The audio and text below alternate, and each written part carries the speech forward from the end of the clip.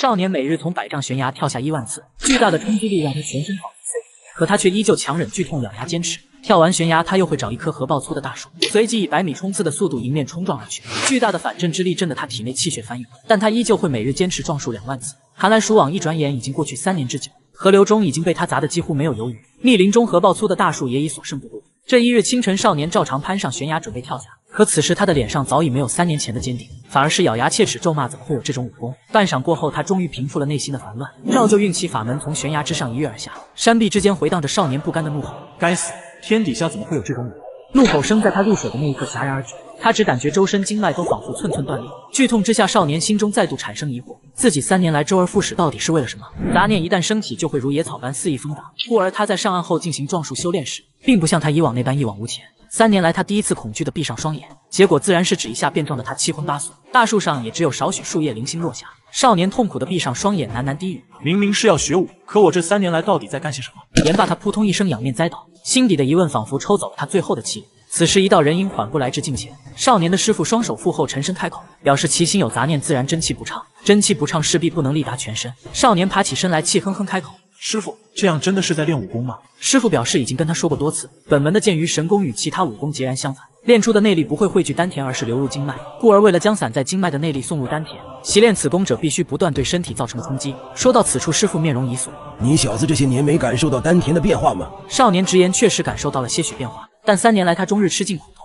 丹田汇聚的内力也只有指甲盖大小。师傅闻言不禁微微一叹，柔声开口。你才刚刚起步，又怎可急功近利？待到你功成之日，自会察觉它的妙处。少年听罢，却是一副不以为意的表情。老者见状，不由得平添几分火气，询问徒弟那副表情是什么意思。少年索性破罐子破摔，直言他并不相信老者所言。老者闻言，立时气结，怒声训斥：“你连为师的话也不信了吗？”却不料少年突然讷讷开口：“倘若师傅所言不假，你也不会有个必败王的绰号。”老者神情微微一僵，轻声询问：“你从哪里听到的这个绰号？”少年表示，就在他昨天去买酒的时候，闲聊之际听到一位剑客谈起，那人表示世上最差劲的武者便是千手眼，因与人交手从未赢过，故被称为必败王。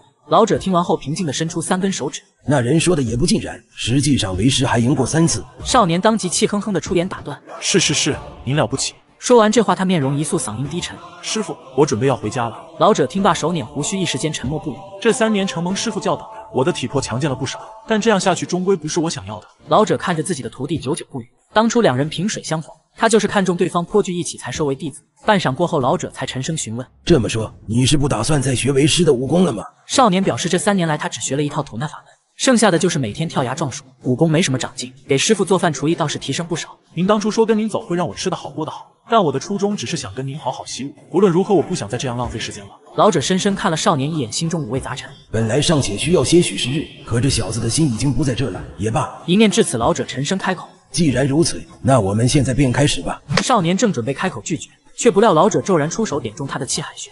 少年猛然一颤，发现自己已经动弹不得。老者一把将自己徒弟按坐在地，肃然开口。为师今日就把所有的一切都传给你。后者闻言大惊失色，询问师傅所言何意。原本我就是抱着这个打算，这三年来让你所做的一切也是为了打好根基。按照为师的想法，你还应该再锤炼一年左右。但你心意已决，我的计划也不得不提前了。老者将少年双膝盘好，随即自己也盘腿坐在徒弟身后。你要做好心理准备，接下来的过程会十分痛苦。说着，他左手探出按住少年的头顶，后者努力侧过头来，艰难开口。师傅，你到底要做什么？老者苍眉紧锁，沉声喝道：“凝神静气，一手丹田，待会千万不能昏过去。”言罢，他的右掌探出，抵在少年后心，体内真气如长水东流，源源注入对方体内。少年一声闷哼，猛然间瞪大双眼，他只感觉好似有一根滚烫的钢钉刺穿脊背。不待他适应这股剧痛，老者的左手也开始蓄力传功。少年只感觉自己仿佛被油锤灌顶，奔流不息的内劲似乎马上要撑爆头颅。老者此时沉声开口。从现在起，你就是拳打门的继承人。接下来为师说的话，你要牢记在心。我们拳打门的创派始祖名为拳光浩，昔日他曾救下一位重伤垂死的少林僧人，僧人为报答祖师的救命之恩，教了他一套拳法和一门内功心法。祖师将其融会贯通，创立了本派武功。我在而立之年，机缘巧合之下遇见你师祖，承蒙他老人家不弃，将毕生所学倾囊相授。怎奈为师习武太晚，再加上天资有限，艰苦修炼十数年后闯荡江湖，也就勉强能摆脱三流武者的行列。说到此处，老者的目光微微一暗。归根到底，还是因为这门武功太过怪异，练出真气不是聚于丹田，而是归于经脉。为师为了把经脉中的内力送入丹田，这些年来与人交手，素来都是挨打为先，就是为了通过这种方式来震荡经脉、洗精法髓，也因此获得了“必败王”这个不光彩的绰号。话到此处，老者的声音戛然而止。而少年也感觉自己的全身仿佛要炸开一般。就在强烈的痛楚要超过他忍耐极限的时候，老者的双掌突然离开他的身体，一道有气无力的嗓音也随之响起。现在好了，果然，话音落下，少年只感觉痛楚消失不见，取而代之的是浑身上下暖意洋洋。少年按照门派心法运功内视，发现丹田处的真气竟然凝聚成了拳头大小。结合起方才的经历，他又怎会不知，这多半是师傅传功给自己的结果。可内功真气对于武者而言无异于生命。念及此处，他不顾体内气息未闻，转头望去，果然只见老者已是皱纹堆垒，形容枯槁。少年豁然起身，满脸错愕：“师傅，您到底做了什么？”老者声音微弱，表示已把毕生功力传给对方。少年闻言呆若木鸡，声音颤抖：“师傅，您为何如此？”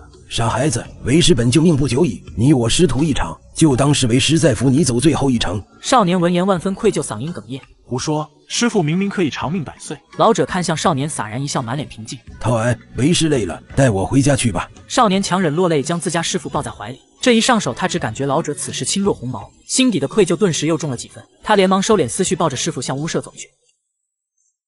却说少年将师傅放躺在木床之上，老者颤颤巍巍地伸手指向一个木匣，少年心领神会，连忙将其从架子上取下。师傅气若游丝，吩咐徒弟打开看看。后者依言照做，发现匣中装有几样事物。匣中一侧放着的是一锭锭白花花的银子，另一侧放着的则是一件软甲和一本秘籍。此时老者断断续续开口嘱咐：“这件如意甲是我们拳打门的神物，从现在起它就是你的了。我我这个没出息的师傅还要再求你一件事。师傅您对弟子有天高地厚之恩，您只管吩咐便是。”何来求字一说？嗯，你务必要再锤炼一年体魄，要好好修炼拳打门的武功。说到此处，老者突然呕出一道血剑。少年见状，吓得大惊失色，喊了一声师傅。老者无力的摆了摆手，示意并无大碍。为师早就命数已尽，不过是强撑罢了。只是你今后若与人动武，使用右手时，切记要三思而行。拳打门的武功比你想象中的要强得多。眼见师傅吐血不止，少年扑倒床前，连声劝慰：“师傅您别说了，我这就给您请郎中去。”老者用尽全力，微微一笑：“能收你小子做徒弟，为师很开心。只盼你今后不要重蹈我的覆辙。”说到此处，老者缓缓闭上双眼，声若蚊语：“千万别！”话未说完，老者的声音戛然而止，生机全无。少年跪倒在地，仰天大吼，泪如泉涌。师傅，太阳东升西落，一转眼三天已过。这一日，拂晓，少年准备将师傅下葬，可当他替师傅擦洗遗体时，却陡然一惊，只见老者天突穴的位置赫然有一处暗伤。想来师傅说他命不久矣，便是因此缘故。伤口颜色发暗，显然是陈年旧伤。可为何师傅却从未跟他提起仇人是谁？猛然间，少年脑海中灵光乍现，莫非师傅是担心自己也会惨遭毒手？师傅不由分说将毕生功力传给徒弟，随后嘱咐了徒弟几件事，便撒手人寰。徒弟清洗遗体时，才发现师傅身有暗伤。结合师傅之前的所作所为和临终叮嘱，少年心念顺转，已然猜到了七七八八。师傅直到咽气也不曾提过仇人半字，多半也是怕他前去寻仇，反遭不测。云飞只得强压下心头的悲伤和仇恨，小心翼翼为师傅换上一身干净的衣服。少年对着木床上的遗体深施一礼。师傅的嘱托，弟子已牢记在心。您在九泉之下好生安息吧。此后，少年按照师傅的嘱咐继续安心修炼。只是这次他没有任何懈怠，而是专注无比。冬去春来，时光飞逝，转眼间一年之期已到。这天，少年来到师傅坟前，恭敬跪倒：“师傅，弟子已经按您所说，又锤炼了一年体魄，今日便要下山去了。”言罢，他向着师傅的墓碑磕了三个响头，随即他站起身来，走向旁边的一块巨石。少年目光一凝，轻声开口：“师傅，给您看看弟子如今的修为如何。”说完之后，他马步蹲身，将双拳提于腰际，一股雄浑的劲力霎时间被他运抵拳锋。云飞猛然间睁开双眼，目光如炬，伴随着他拧腰转体，一拳悍然轰出，拳风好似划破虚空，竟是带出音爆之声。坚硬的巨石对这一拳珠网一般的裂纹迅速向四周延伸。云飞转头看向坟墓，神情黯然：“师傅，您看到了吗？弟子现在的修为，想来应该足以自保了。”他的心中不禁一阵凄凄然。师傅练了一辈子，也不过是个二流武者。他若不是有师傅传功，可能一辈子连二流武者的高度都达不到。每每想到此处，他都有些压不住怒火。挨打才能积累内功，想来全天下也没有如此差劲的武功。半晌过后，他释然一笑，喃喃低语：“可我偏偏练的就是这么差劲的武功，而且还是没日没夜，花了整整四年时间。”说到此处，他胸中顿生一股豪气。但要让我乖乖挨揍，也得看他们有没有这个本事。师傅，我知道您不想我替您报仇，但这件事恐怕弟子不能答应。只不过现在弟子还没有任何线索，一旦有了机会，弟子一定手刃仇家。言罢，他转身便往山下走去。四年前，他不声不响地跟师傅上山修行，也不知家中的母亲和弟弟过得如何。田垄间，一位暮春之年的妇女正在劳作。妇女费力地将一把把土豆挖出泥土，一个个摘下后再放进旁边的大盆里。半晌过后，云母敲了敲酸胀无比的腰。正当她准备继续干活时，突然目光一滞，只见不远处有一道熟悉的身影慢慢走来。云母站起身来，有些不确认的仔细观瞧。过了片刻，她才试探性地喊道：“是云飞吗？”正在赶往家中的少年不禁微微一愣，顺着声音望去，才发现喊自己的正是娘亲。此时，云母已经快步走到近前，见确实是自己儿子，云母的脸色瞬间冷了下来。少年尴尬地挠了挠头，询问母亲过得一向可好。可迎接他的却是云母的一顿暴打。四年前一声不响的就走了，现在还敢问我过得好不好？挨了一顿暴揍，云飞毫发无伤。娘亲，我这不是完好无损的回来了吗？云母气哼哼的双手叉腰，你这跟四年前也没什么区别啊。少年自信一笑，表示自己个子高了，力气也大了，今后家里的活他都可以帮着干。云母余怒渐消，询问儿子回来有何打算。少年表示他准备打猎来补贴家用。云母闻言微微错愕，儿子打小骨瘦如柴，力气单薄，怎么消失了四年还学会了打猎？云飞表示他不只会打猎，这段时间还学会了辨识草药，也可以顺带挖些草药养家糊口。云母听罢不再多言，只是嘱咐他要多行正道。此时少年询问起弟弟云城的现状，云母表示对方在清华客栈做店小二，一个月能拿二两银子，准备攒些钱后自己也开个客栈。说完，他转身走向田间，你先回家去吧，我干完活就回去。话音未落，云飞却是走了过去，表示要帮母亲一起挖土豆。期间，他得知这并非自家的田地，而是地主陈鲁杀的。母亲把这块地的土豆全部挖完，可以从中拿走一盆。云飞听罢，心中一阵惭愧。娘，这些年苦了你了，以后家里的事情就交给我吧，我不会像以前那样闯祸了。以前是我年少无知，今后我会好好生活的。云母听罢，长叹一声，表示希望如此。旋即，他问起四年前儿子为何会离家出走。云飞嘿嘿一笑，表示当时有人说会让他吃得好过得好。自己也没多想，就跟着走了。云母听罢，有些瞠目结舌。那你这些年就是跟人家去学打猎了吗？其实学了很多东西，打猎只是其中之一。云母闻言又是轻轻一叹，劝解他今后不可轻易相信别人的话。云飞听后一时间陷入了沉默。他深知师傅并没有欺骗自己，反而以生命为代价尽了最大的努力。念及此处，他抬头向天，轻轻闭上双眼。我不知道习武能否让自己吃得好过得好，可改变命运的机会，师傅已经给了我，剩下的就看我自己的造化。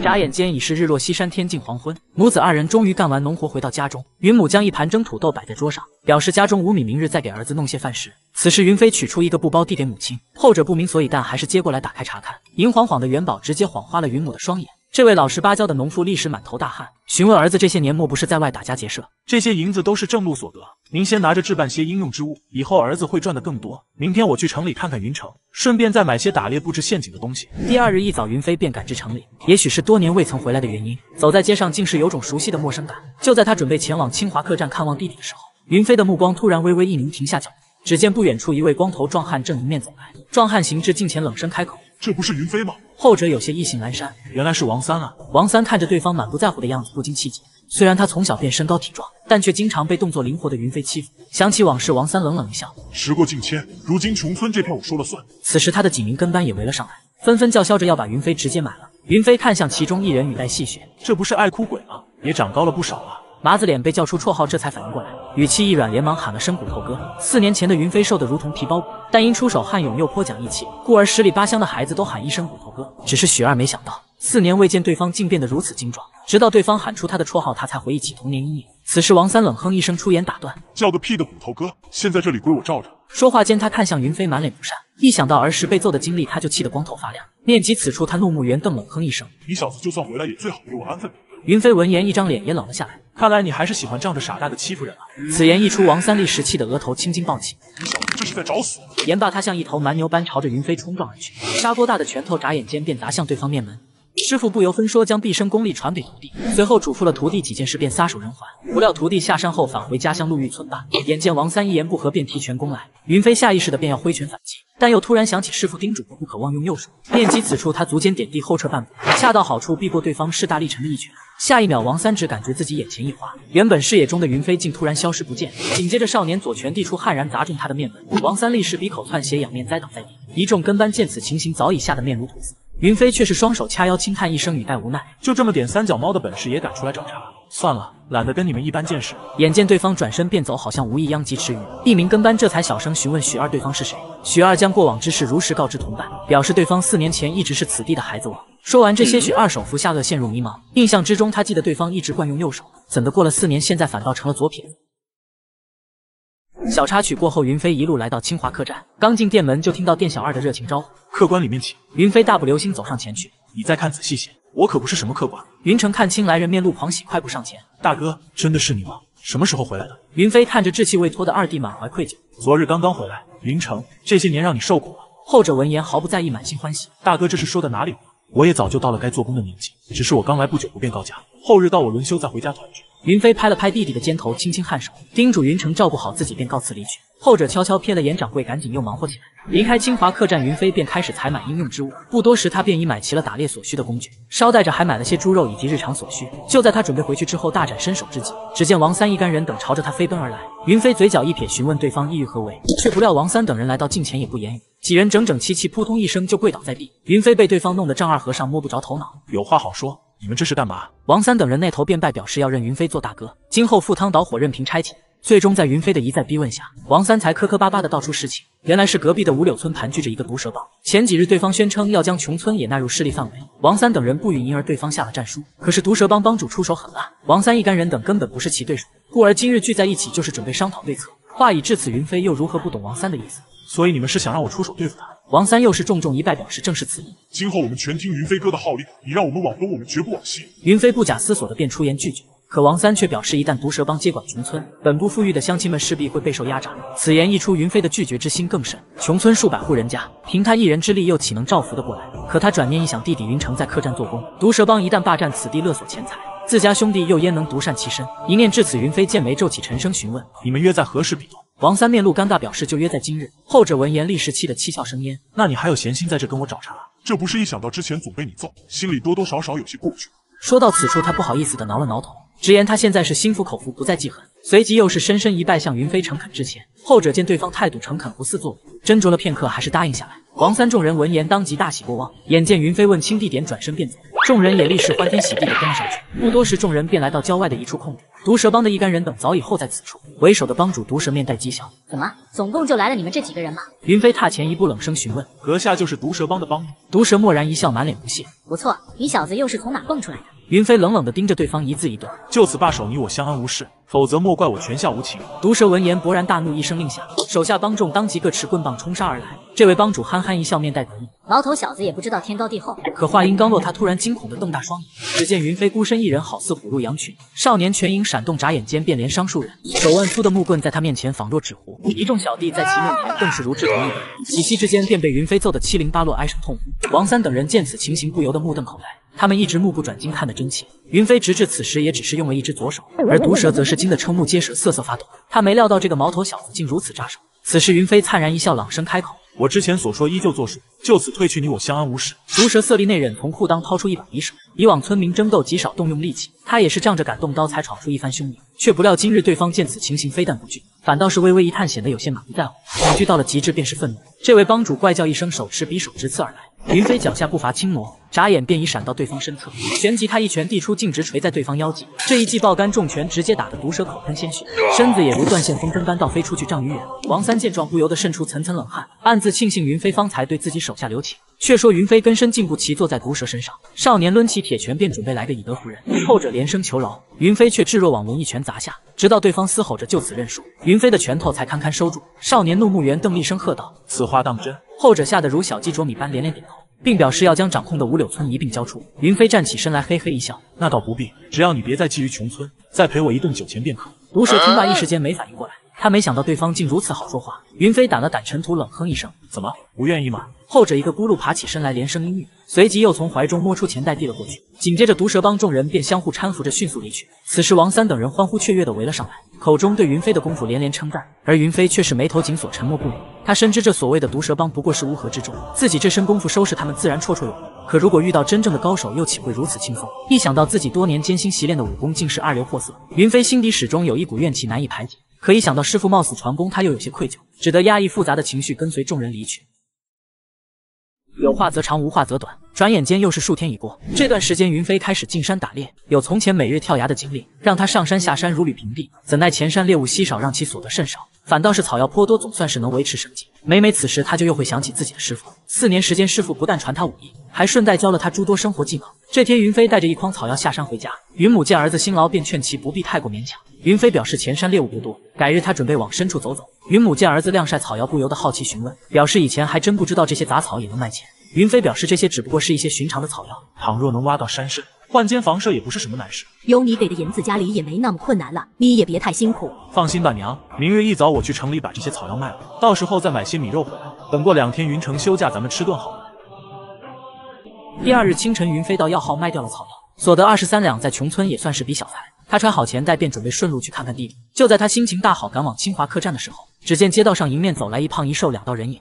这一胖一瘦两个男人行事相当霸道，街边的路人只是用膀胱扫了他们一眼，胖男人便勃然大怒，厉声吼道：“你瞅啥？”见此人如此凶悍又身带利器，路人不敢回嘴，纷纷避之不及。云飞与两人擦肩而过，目不斜视。他已从身形上看出对方也是习武之人，但秉着多一事不如少一事的原则，他并没有多管闲事，而是径直走进清华客栈。刚进店门，弟弟云城便迎了上来。云飞点了五瓶剑南春，外加八只烤鸭。弟弟无奈一笑，表示香烟小店没有那种上等酒菜。我还想着照顾一下你们这客栈的生意，既然如此，那就换几个拿手的小炒。竹叶青，你们店总该有吧？先上个五瓶。云城答应一声，转身直奔后厨。自打哥哥回来，他听到了不少传闻。药号的伙计跟他闲聊时也曾提起，说云飞这几天挖的药草比采药人一个月挖的都多两倍。而且最近哥哥总带朋友来这照顾生意，每次来店就是专挑贵的点。故而掌柜的对他的态度都好了许多。此时王三等人走了进来，高声吆喝：“大哥，我们来了！”云飞笑着招呼这些儿时的伙伴赶紧入座。不多时，酒菜便已做好端了上来。云飞当即跟众人推杯换盏，言笑晏晏。席间，王三表示最近他们几人商议了一番。想要在穷村自己成立个帮派，几人还给帮派起了诸多名字。他们看云飞的拳法急如闪电，势若奔雷，故而觉得雷拳派这个名字最为合适。云飞闻言不由得一阵无奈，他无意如此，却又不忍坏了众人的兴致，于是便让几位发小自己看着办。王三听罢不禁大喜过望，高举酒碗，那就让我们为雷拳派干一杯。众人轰然应诺，酒桌上一时间欢声不断。云城正为自家兄长的本事感到钦佩，却没注意到身后进来两位不速之客。胖子打量了一番四周，冷声抱怨：“还真是穷乡僻壤。”就这么一家店，看起来还凑合。云城闻声连忙迎了上去，热情招待。云飞瞥见这两人，却是暗自皱起眉头。以这二人的脾性，来到店里只怕是祸非福。果然，两人刚一落座，胖子就率先开口：“小二，来两瓶十年陈的女儿红，外加三只烧鹅和一盘葱爆牡蛎。”云城当即表示，客栈并无这些高端菜肴。此言一出，胖子立时勃然大怒。瘦子也是一脸凶相，不肯善罢甘休，直言什么都没有，还开什么客栈。此时，云飞见身旁的王三神色有异，想必是知道些什么，便低声询问那一胖一瘦是何来头。后者悄声表示，那两人来自七星派。大哥有所不知，他们是不久在镇子东边的庄园安顿下来，听说是个很大的帮派。云飞闻言，眉头紧锁，冷声询问：“能有多大？”据传，全帮上下少说也有两百号人，其中还有几位会功夫的武者。云飞听罢，不由得陷入深思。武者一般不会与平民为难，这两人显然是坏了江湖规矩。却说另一边的胖子还在愤怒叫嚣：“你是不把我双花府一景放在眼里吗？别在这傻杵着了，赶快想办法弄酒菜去。”客官，我们这乡野小店真没有您要的东西，要不您移步到隔壁的五柳村，那里有一家方圆百里最大的客栈。此言一出，胖子勃然大怒，站起身来：“你这话是想赶走本大爷吗？”云城被吓得面无血色，连声解释，后者却是盛怒之下一把揪住他的前襟，提拳便准备教训这个店小二一番。见此情形，云飞再难压抑胸中怒火，猛地一拍桌案，豁然起身。王三见状，连忙拉住自家大哥，表示七星派势大，他们这种乡野小民根本招惹不起。我管他是什么七星派还是八仙派，欺负到我弟弟身上就是不行。言罢，他甩手挣脱王三，径直朝隔壁桌走去。胖子见有人赶来多管闲事，不禁微微一怔，当即一把推开云城，恶狠狠地看向云飞。后者怡然不惧，盯着对方冷声开口：“七星派的人难不成都这么不讲道理？为难个店小二算什么本事？”胖瘦组合听罢，双目圆瞪，满脸的不可置信。此地竟还有人敢对他们七星派出言不逊。不远处的王三等人早已吓得面如土色，心道自家大哥这回可是闯大祸了。云飞却是不以为意，继续自说自话：“没想到七星派的人好像耳朵也有问题，那我就再说一遍。”话未说完，胖子已然怒吼一声，挥拳而上，不料下一秒他便被一记重拳锤在面门，胖子惨叫一声，被掀翻在地，摔了个狗啃泥。瘦子见状，飞起一脚直奔云飞下颚劈来。后者侧身一闪，轻松避过，随即右手探出，扣住对方脚腕，向前一抬。云飞冷笑一声，左手一记掌刀，顺势戳出，掌刀去势如风，一举戳中瘦子哽嗓咽喉。云飞仅用了两成力道，并不想取其性命，但瘦子仍是难以承受，跪倒在地，拼命干呕。饶是云城知道哥哥从小就身手不错，此时此刻也是惊得呆若木鸡。云飞看向弟弟，板起脸来，沉声叮嘱：“今日之事不许告诉娘亲。”言罢，他从怀中掏出两锭银子，拍在桌上，旋即双手一抄，揪住胖瘦二人的衣领，将两人好似拖死狗一般拖到客栈门口，双手一扬，便将胖瘦二人抛飞出去。王三等人此时也跟了上去，将二人围住。云飞见没道数，厉声询问：“说你们大老远跑到这里，到底所图为何？”胖子显然仍未看清形势，还想着拿七星派的势力来吓住对方。云飞见状，不禁眉头一挑，看来挨打还没挨够是吧？王三，你们几个给我上去揍他！后者一时间陷入两难，他对七星派还是颇为忌惮。犹豫了片刻，王三一咬牙，转头吩咐兄弟们：“揍这两个王八蛋！”众人当即一拥而上，开始拳打脚踢。胖瘦二人被揍得满脸是包，还在大声叫嚣：“你们都死定了！独眼鬼大哥不会放过你们！”一众兄弟听罢，下手立时又中了子。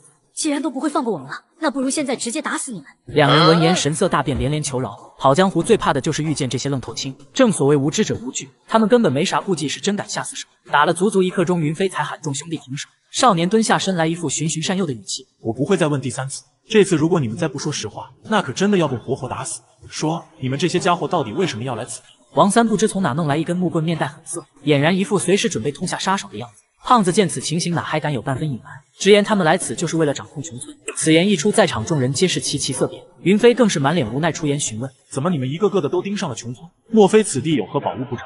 胖子表示，穷村虽然是个穷乡僻壤，但位于咽喉要地，可谓是四通八达，故而他们打算在此设立四海镖局的分号。听到四海镖局的名号，王三不禁惊呼出声。云飞当即转头看向对方，询问其中细节。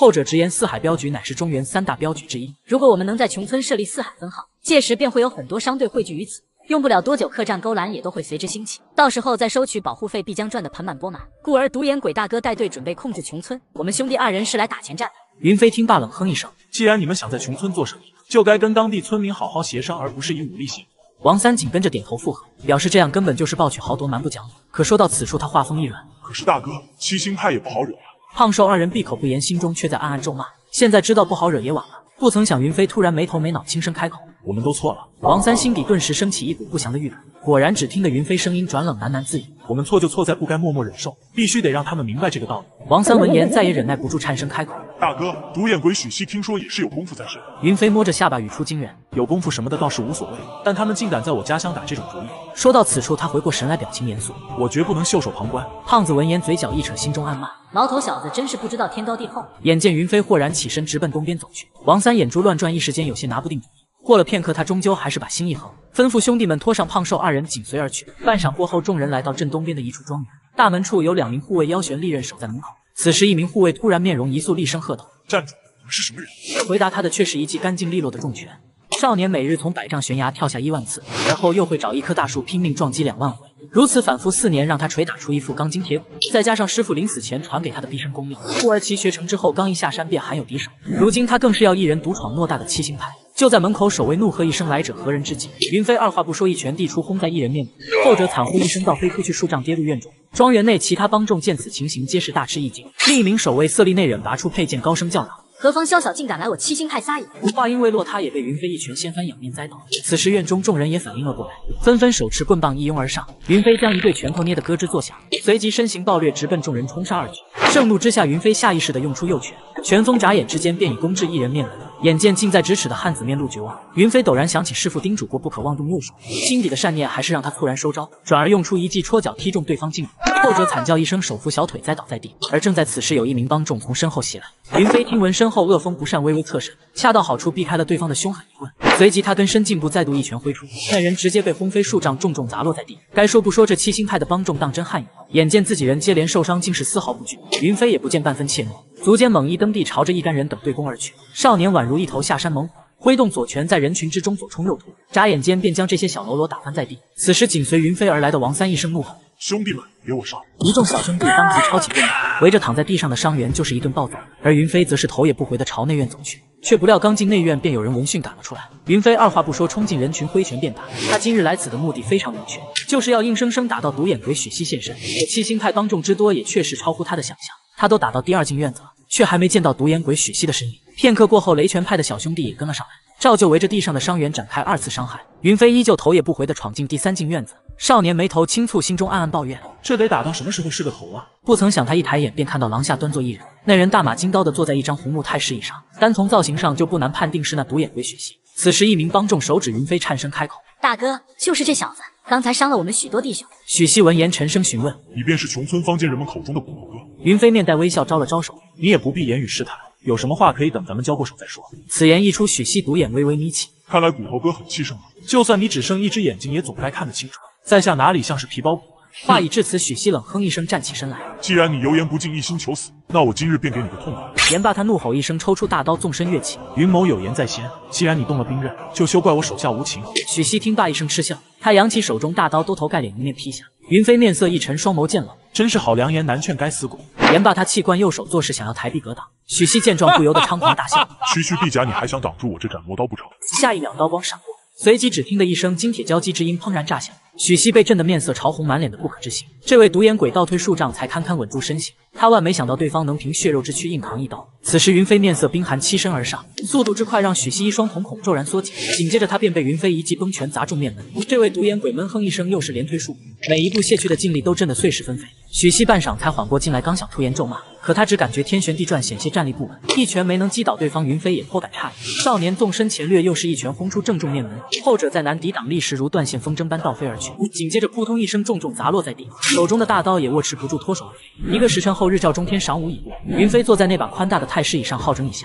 此时许熙发出一声痛苦的低吟，悠悠转醒。少年见状，不禁出言调侃：“既然醒了，就起来聊聊吧。院子里也不是睡觉的地方。”许熙强忍着头昏脑胀爬起身来，又缓了半晌，这位独眼鬼才出言询问：“你这到底是什么功夫？徐某闯荡江湖多年，闻所未闻。”云飞表示自己小门小派没什么名气，每代也就那么一两个人不值一提。后者听罢，深深看了对方一眼，心中的忌惮又增加了几分。待到他看见王三等人将一众手下尽数控制，这位独眼鬼不禁长叹一声，语带感慨：“徐某闯荡江湖十余载，没想到会在这种小地方栽了跟头。你既然手下留情，定然有所图谋。说吧，你们到底想要怎样？只要你们不碰穷村本地这些商户，我也无意与你们七星派不死不休。”甚至等将来穷村发展成更大的村镇，如果你们能给我们雷泉派划块地方，我们也可以向你们支付相应的钱银。此言一出，许西猛地瞪大独眼，不可置信。你说什么？合则两利，斗则两伤。你若太过贪心，难免性命不保。许西听罢，当即收起了小觑之心。此子不过弱冠之年，便有如此手段，将来定非池中之物。云飞见对方迟迟没有回应，又轻声开口：“其实我对贵派设立分号一事并无不满。”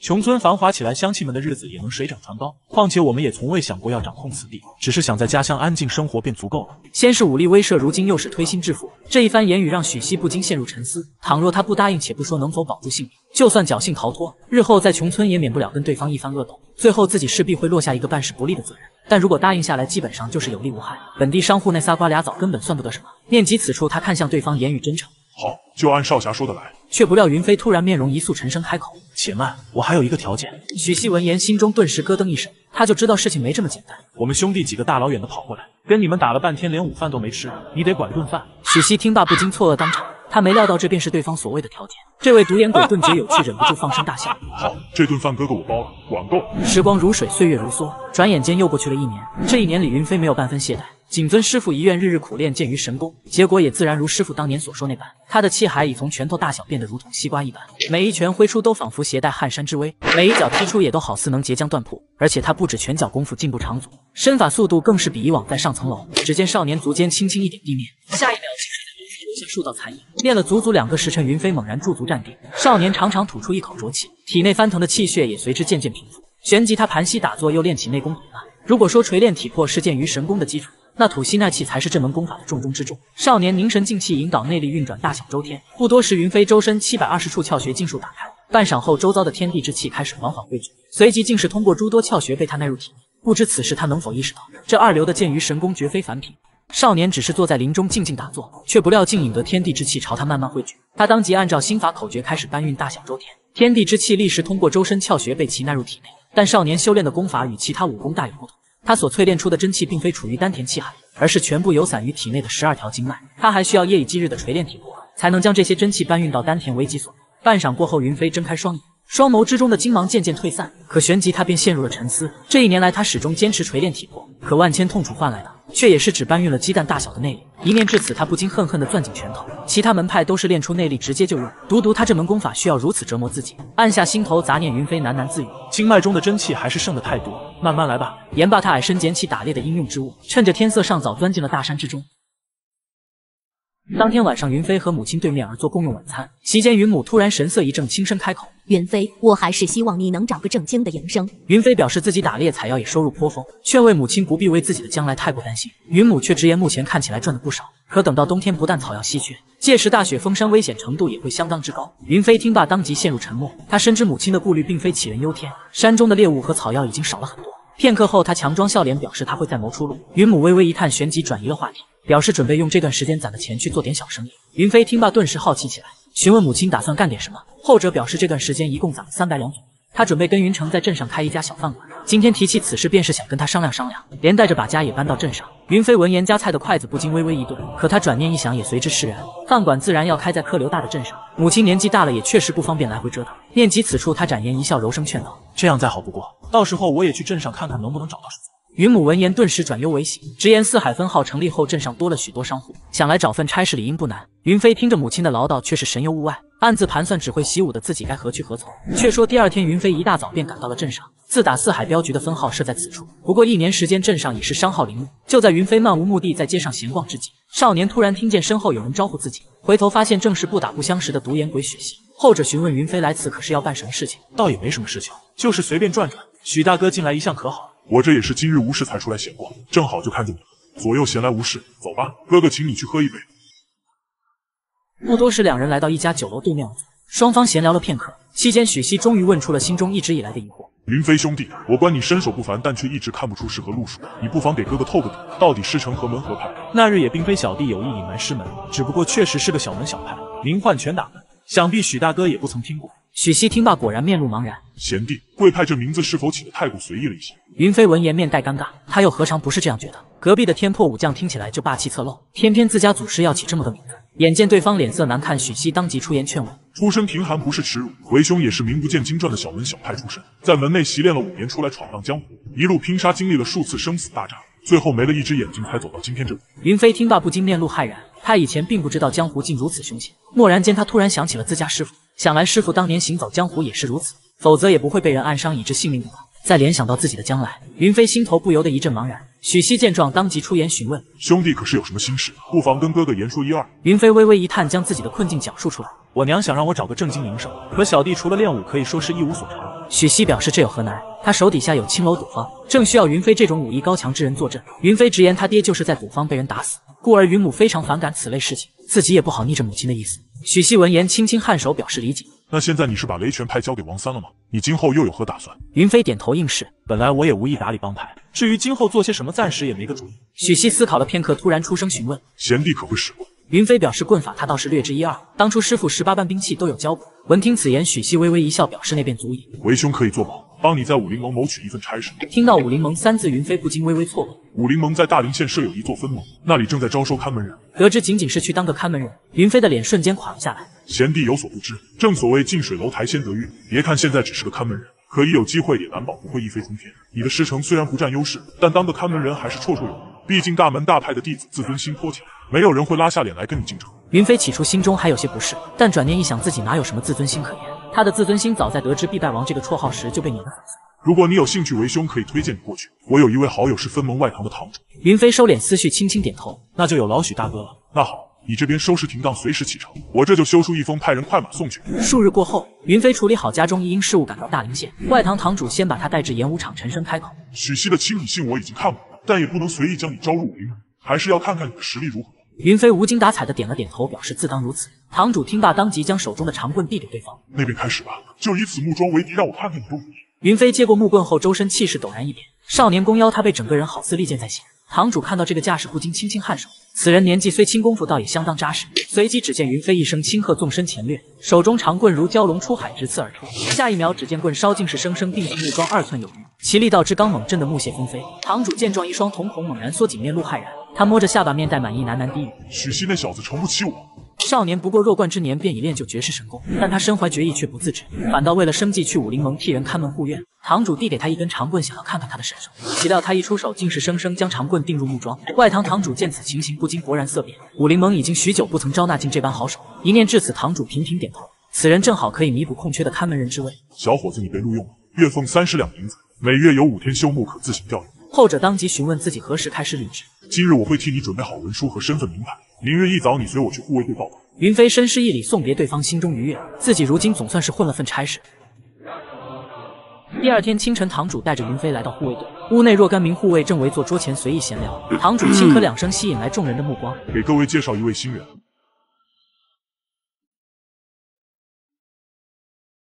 此言一出，屋内众人纷纷侧目看来。堂主这才继续开口。此人名叫凌云飞，今年二十有一，是新招来的护卫。今后你们多亲多敬。云飞适时上前躬身行礼，还请各位多多关照。一位年长的护卫询问云飞是否会武，后者谦虚的表示自己略知一二。卫队长崔洪万咧嘴一笑，还是个练家子，不错。那你以后就编入一组。云飞当即在示意里躬身领命。崔洪万又将其他几人介绍给他，表示这三人分别是陈者、安康和魏志成。云飞暗自将三人的名姓牢记在心。护卫队每组三人共分甲乙丙丁四组，每组轮流站岗一个时辰，休息三个时辰。若遇职业，则是两人守门，一人休息。每组皆是如此轮换，不会欺压新人。基本的规矩也就这么多，其余细节你去跟组长和组员熟悉一下便可。云飞轻轻颔首，表示明白。这时，一位青年汉子主动打起招呼，直言他就是云飞的组员，名为安康，名叫魏志成的组长也颇为和善。你年纪比我稍小，愿意的话也可以叫我魏大。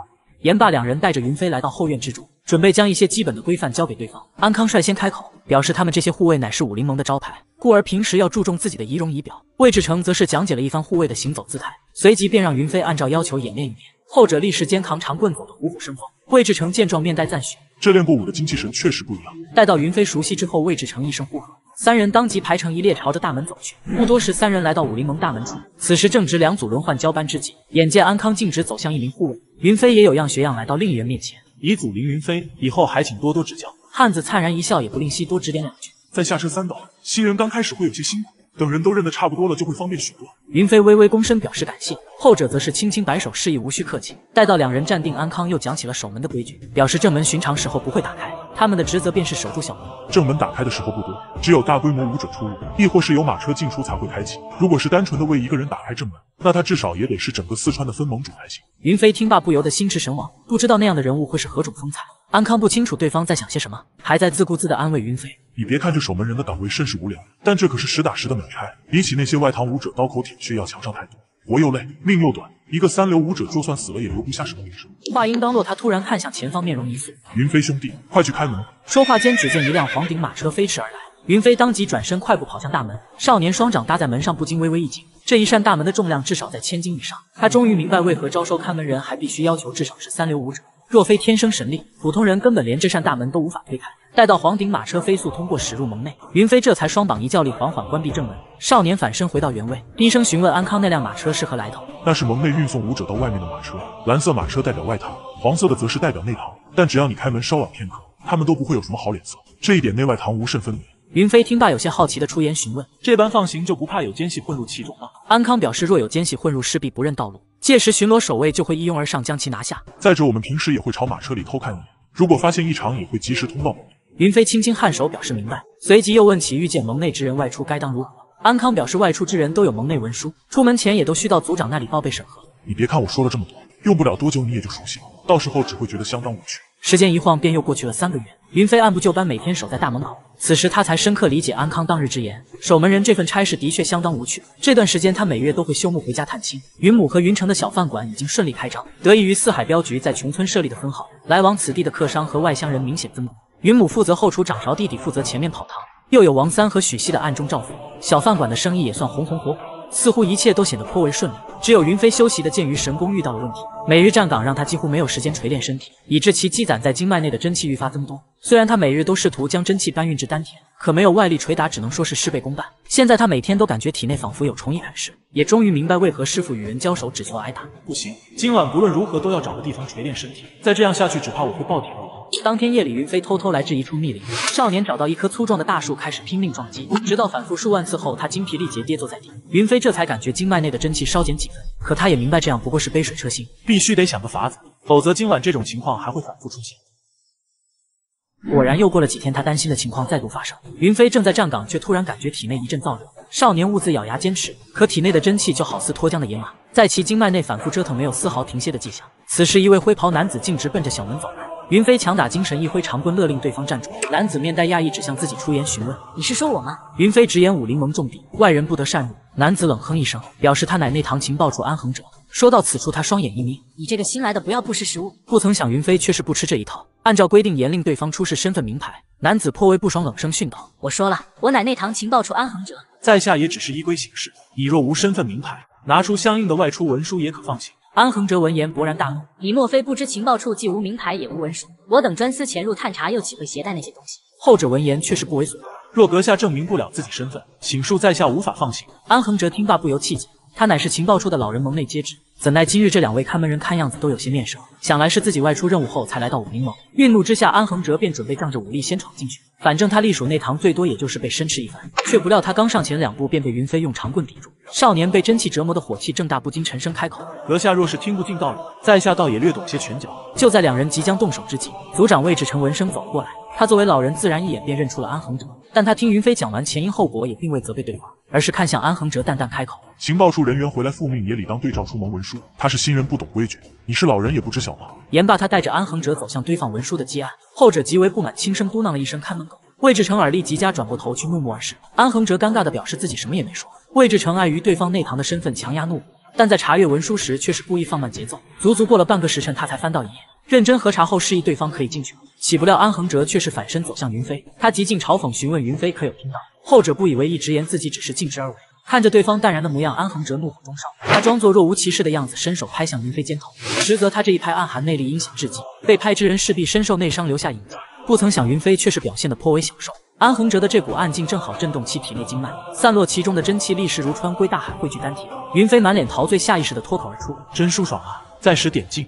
男人看似伸手轻飘飘拍向少年肩头，实则这一掌暗含内力，可使人重伤吐血。不曾想少年挨上之后却是毫无反应，甚至面带舒爽，还让对方再加些力道。安恒哲闻言不由得脸色微变，不对劲，这小子十分有十二分的不对劲。可他看到云飞那欠揍的表情，着实恼恨，当下也顾不上事后会不会被蒙内责罚。竟是运起八成功力，挥拳直奔对方袭去。云飞却是把胸脯一挺，站在原地不闪不避，任凭对方势可开山的一拳轰在自己胸口。下一秒，少年骤然间瞪大双眼，身子一颤。可紧接着，他虽嘴角溢血，却是满脸欣喜。这一拳让他经脉中的真气迅速聚往丹田，这种畅快之感就仿佛多年宿便一泻而出，让他情不自禁地闭上双眼，细细体味。而且他发现，挨上这一拳后，真气不论是聚拢的速度，还是凝结的体量，竟是远超他之前跳崖或是撞树的好几倍。一念至此，云飞踏前一步，又挺了挺胸膛，潜台词显然是让对方再多打几下。如此反常的举动，吓得安恒哲连连倒退，下意识的认为面前之人绝对是个疯子。正常人都知道不要去轻易招惹疯子。安恒哲二话不说，脚底抹油，转身就走，徒留下云飞看着他仓皇的背影，满脸惋惜。如果再挨上几拳，说不定能把经脉里的真气尽数搬到丹田。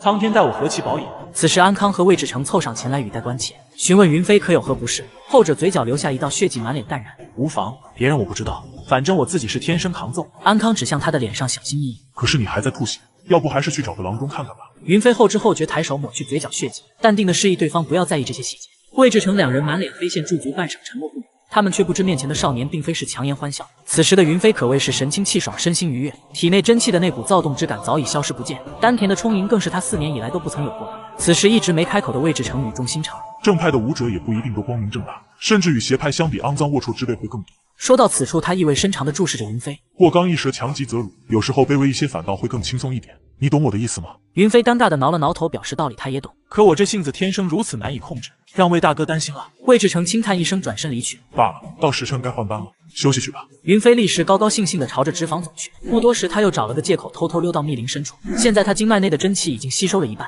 让他忍不住想要一试自己功力的深浅。少年马步蹲身，气贯双臂，左右开弓，每一拳递出，拳罡激荡，竟是隐隐有风雷之声。连挥数拳后，云飞不禁面露欣喜，他明显感觉到出招的动作更为流畅。按下心头激动，他又开始测试身法的进步。少年气贯双足，脚步轻挪，整个人立时如清风拂柳般飘然而起，闪转腾挪间留下道道残影，一时间难辨真假。云飞见状喜不自胜，他发现自己的身法也明显更胜从前。半晌过后，他盘膝入定，再度运起剑鱼神功。不多时，磅礴的天地之气又开始缓缓汇聚。少年照旧按着功法口诀将其纳入体内，只不过这次他吸收的速度明显又快了一分。天地之气通过周身窍穴流入他的奇经八脉，云飞不自觉的眉头轻蹙。这般下去不消片刻，经脉内的真气又会充盈过剩。但剑于神功就是如此效果，他也毫无办法。不知不觉间已是月挂中天，繁星点点。云飞收功起身，只感觉经脉内的真气又开始蠢蠢欲动。少年眉头紧锁，陷入深思。他已经刻意放缓行功速度，可周身窍穴一旦打开，便仿佛不受控制一般。那天地之气好似海水倒灌涌入经脉，但好在他今日印证了一个事实，那就是被人攻击确实可以助他修行。他也终于明白为何师傅在而立之年才踏足武道，只练了十几年便能跻身江湖二流之列，想来便是得益于这套功法的特殊之处。一夜无话。第二天，云飞照常在大门执勤。少年之前那副无精打采的样子早已不见，取而代之的则是精神奕奕、状态饱满。此时，一位汉子鬼鬼祟祟的在他面前路过，云飞不禁多看了对方两眼，心中疑惑。在他的印象中，此人已经在这转悠了许久。片刻过后，汉子终于鼓起勇气走上近前，眼见对方就这么直勾勾的盯着自己，也不说话。云飞当即奉劝对方不要影响其之情。汉子手扶下巴，打量着云飞，喃喃自语：“说的到底是不是他？看着有点不像呢。”云飞闻言不禁面带疑惑，询问对方所言何意。不曾想，还不等他把话说完。汉子骤然出手，一拳捶在他的胸口，异变陡升之下，云飞并没有丝毫动怒，反倒是细细体味真气汇聚丹田的舒爽。汉子见此情形，不由分说，又是一拳轰出。云飞一动不动，面带笑意，又扛下这一击。汉子仿佛是见了鬼一般，颤声开口：“果然跟安恒哲说的一模一样，这人当真是个疯子。”云飞微微一笑，嘴角溢血，淡然开口：“阁下没吃饭吗？大点力！等了半晌，见对方毫无动静，云飞眉头一挑，偷眼观瞧。可动手的汉子不知何时早已仓皇逃远。看着对方落荒而逃的背影，云飞暗道可惜。安康却是颇为关心的询问他是否有事。云飞微微一笑，直言对方的劲道堪比棉花，他自己没有丝毫感觉。安康闻言，默默站在风中，心头一阵凌乱。他亲眼目睹那汉子的一拳足以开杯裂石，可面前这小子挨上之后，竟是毫发无伤，甚至脸上还表现出一副很享受的神情。想到此处，安康心中不禁陡然一惊，莫非这家伙患有某种异症不成？一念至此，安康哆哆嗦嗦地套起近乎。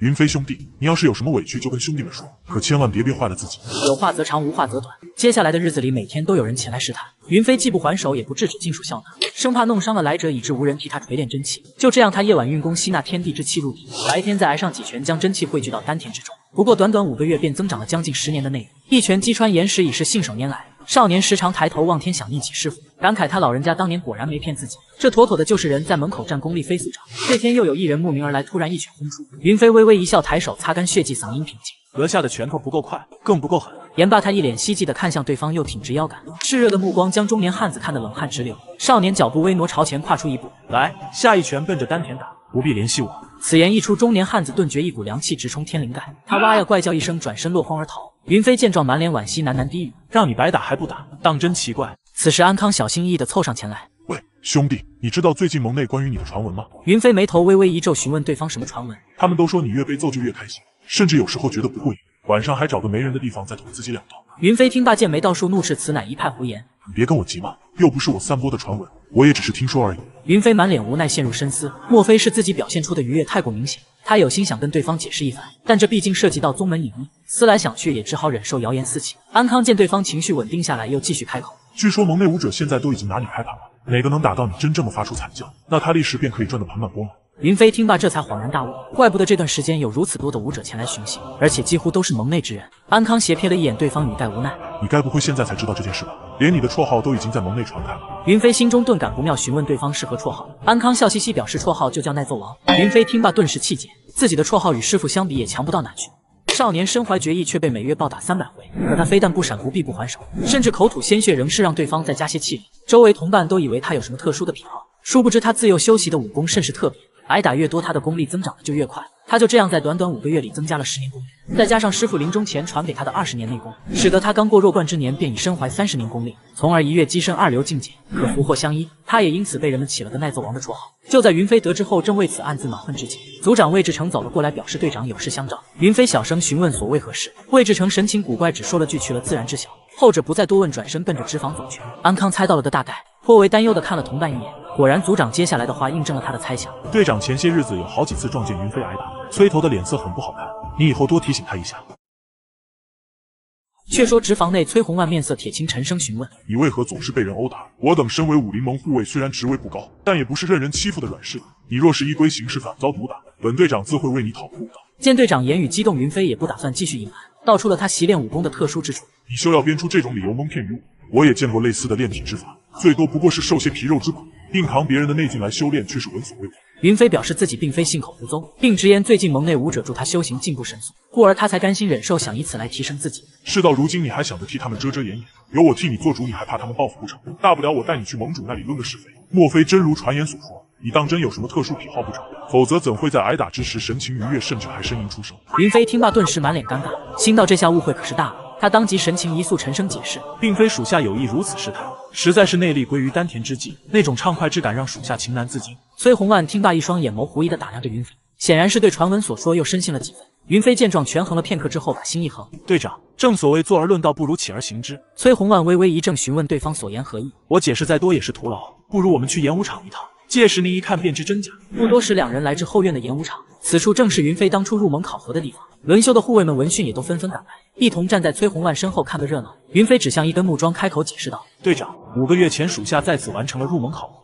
当时堂主让我以此木桩为敌，小试身手。属下用木棍刺出了一个两寸深的小洞。”崔红万轻轻颔首，表示他早已知晓此事，却不知云飞今日为何要旧事重提。云飞紧了紧手中的木棍，继续解释：“属下就是想证明一下这五个月的长进。”言罢，他一阵手中长棍，躬身弯腰，整个人好似折龙在渊，待势而动。三息过后，云飞双眸之中金芒一闪，少年一声轻喝，犹如离弦之箭暴掠而去。云飞一棍递出，如有虎啸龙吟，风雷滚滚。下一秒，众人只听得一声脆响，凭空炸起。用了数年都不曾损毁的木桩，竟是被云飞一棍捅了个对穿。崔红万见此情形，惊得眉头一跳，嘴角直抽。这一手功夫显然已超越二流高手的实力，其他护卫也是惊得目瞪口呆、瞠目结舌。他们万没想到自己身边竟有此等高手。单看这一棍之威，此子的实力已经不弱于我，但挨打能增进修为，还是有些匪夷所思。足足半晌，崔红万强压心底震惊，缓声开口：“如今看来，你方才所言的确不假，但日后你能否克制一下你的神态而生？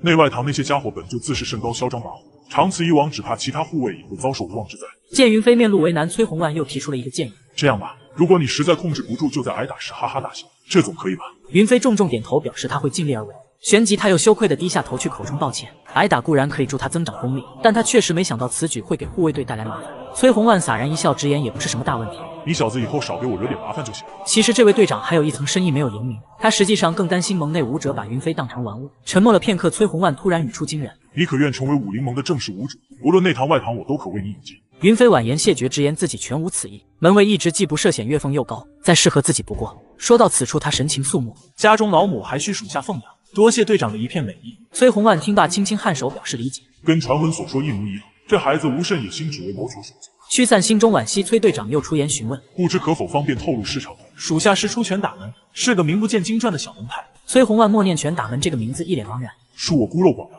确实没听过这个门派。本门祖师早年间得一少林僧人传授武艺，之后一直都是一脉单传。队长没听过也不足为怪。听到一直是一脉单传，崔红万心头一颤，他忽地联想起多年来坊间的一个传闻。据传多年前武林曾有一次天大的浩劫，天下各大门派的高手全都铩羽而归，直到出现了一位神秘高手立定乾坤，这才让整个江湖免遭于难。事后有人曾追问其出自何门何派，后者淡然一笑，直言自己一人即宗门。只是崔红万自始至终都认为传闻不实，哪怕都是叫花子的丐帮都有自己的祖宗，这普天之下哪有居无定所？况且还只有一人的门派，压下心中的胡思乱想。这位队长示意云飞可以听凭自便。看着少年离去的背影，崔红万暗暗低语：不想成为正式的武者，却又刻苦修行，当真是个奇怪的人。与此同时，在云飞返回岗位的必经之路上，名叫燕中的青年汉子正在苦苦等待。此人乃是武林世家晋州燕家的长子，自幼就表现出极高的武学天赋。晋州燕家曾几何时也是名动江湖。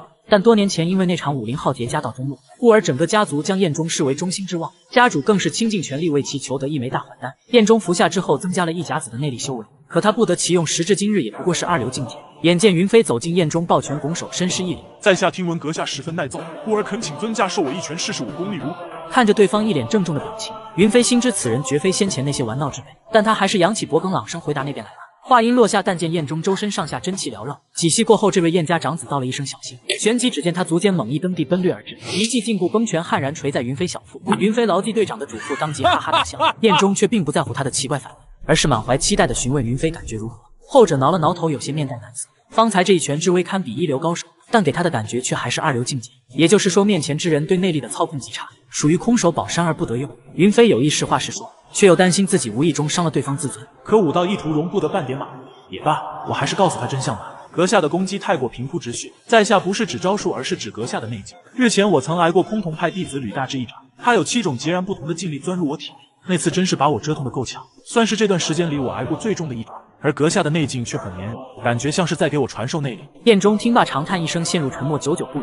燕家因为那次浩劫，门庭凋零，人丁稀少，家中诸多秘籍也是残破不堪，缺字少页。纵使他如今遇到瓶颈，也无人可指点迷津。片刻后，这位燕家公子诚心请教，还请尊驾不吝指点在下一二。见对方这般，云飞也有些于心不忍。家师曾言，练法归练法，打法归打法，其中的差异就在于尽力的使用。平时练功重在养气存神，与人交手则要弯弓射箭。简单来说，就是要把内劲阻挡一下，再释放出去。我这般空口白牙没什么效果，不如我给你演示一番。虽然我练的只是三流武功，但其中的道理你一看便知。燕中闻言自是求之不得，连声道谢。只见云飞走到一根木桩前，微微一笑，就拿我平时练功的方法给你演示吧。言罢，少年双目微闭，气贯周身，随即一拳轰出，直打得木屑纷飞。我这拳用了八成功力，只留下一个浅坑。接下来我会用同样的功力再打一拳。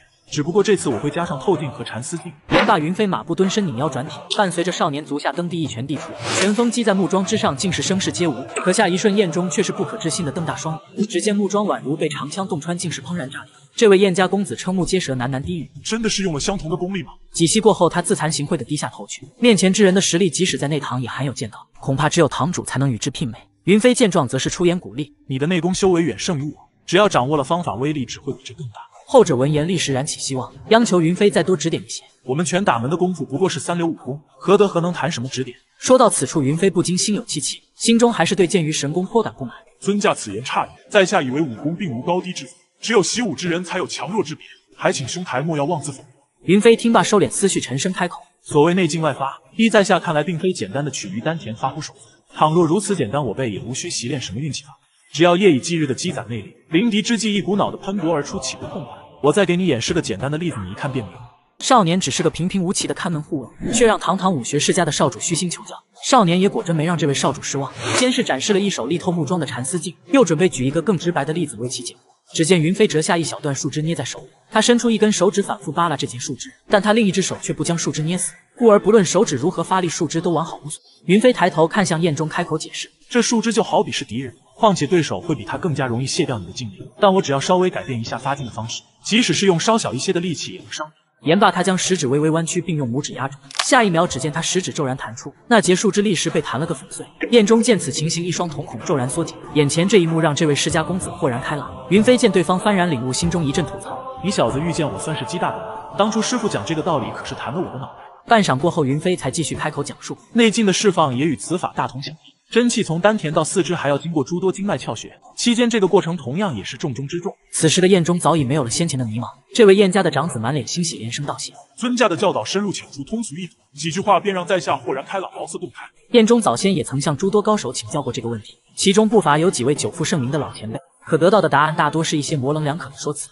什么天之道损有余而补不足，是故虚盛时不足胜有余。听得他晕头转向，但实际上却无甚卵用。唯有云飞今日的指点捅破了那层窗纸，让他感觉自己现在强的可怕。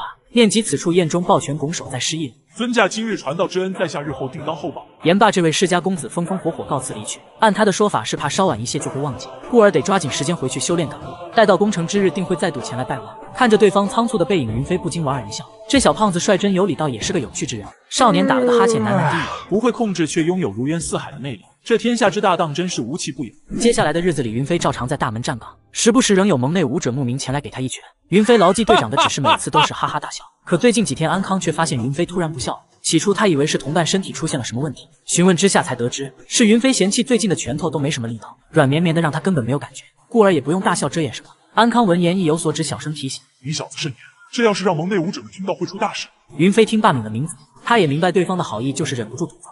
正在此时，他瞥向前方，突然脸色一变。连忙招呼安康小心，后者顺着他的目光抬眼望去，只见一群人各持刀兵，正气势汹汹地朝大门逼近。你先稳住他们，我这就去跟族长汇报。言罢，他一路小跑，将此事禀报给魏志成。后者来到门口，定睛一瞧，也是脸色微变。魏志成不敢怠慢，迅速摇响阁楼上的警钟，洪亮的钟声立时传遍整个武林盟。盟内众人听闻钟声，皆是不明所以。原本想要进武林盟的，也都踌躇不前。大门口的小商小贩更是如鸟兽散，生怕稍晚一步就被殃及池鱼。那群人来到大门之前，驻足站定。为首的一名公子哥默然一笑，这些人倒也有几分眼色。魏志成硬着头皮迎上前去询问来者何人。这位族长眉头紧皱，心中咒骂：可恶，偏偏在我当值的时候遇见整茬了。那伙人听罢，当即发出一阵哄笑。为首的公子哥更是语带嘲讽：你们快看，这武林盟的看门狗还挺会叫的。身后立时有狗腿子出言奉承：三公子所言极是，这要是我们血王宗的护卫，早就已经拿着刀冲上来了。闻听此言，魏志成心中咯噔一声。血王宗三公子名唤马小帅，其人在十里八乡横行霸道，为非作歹。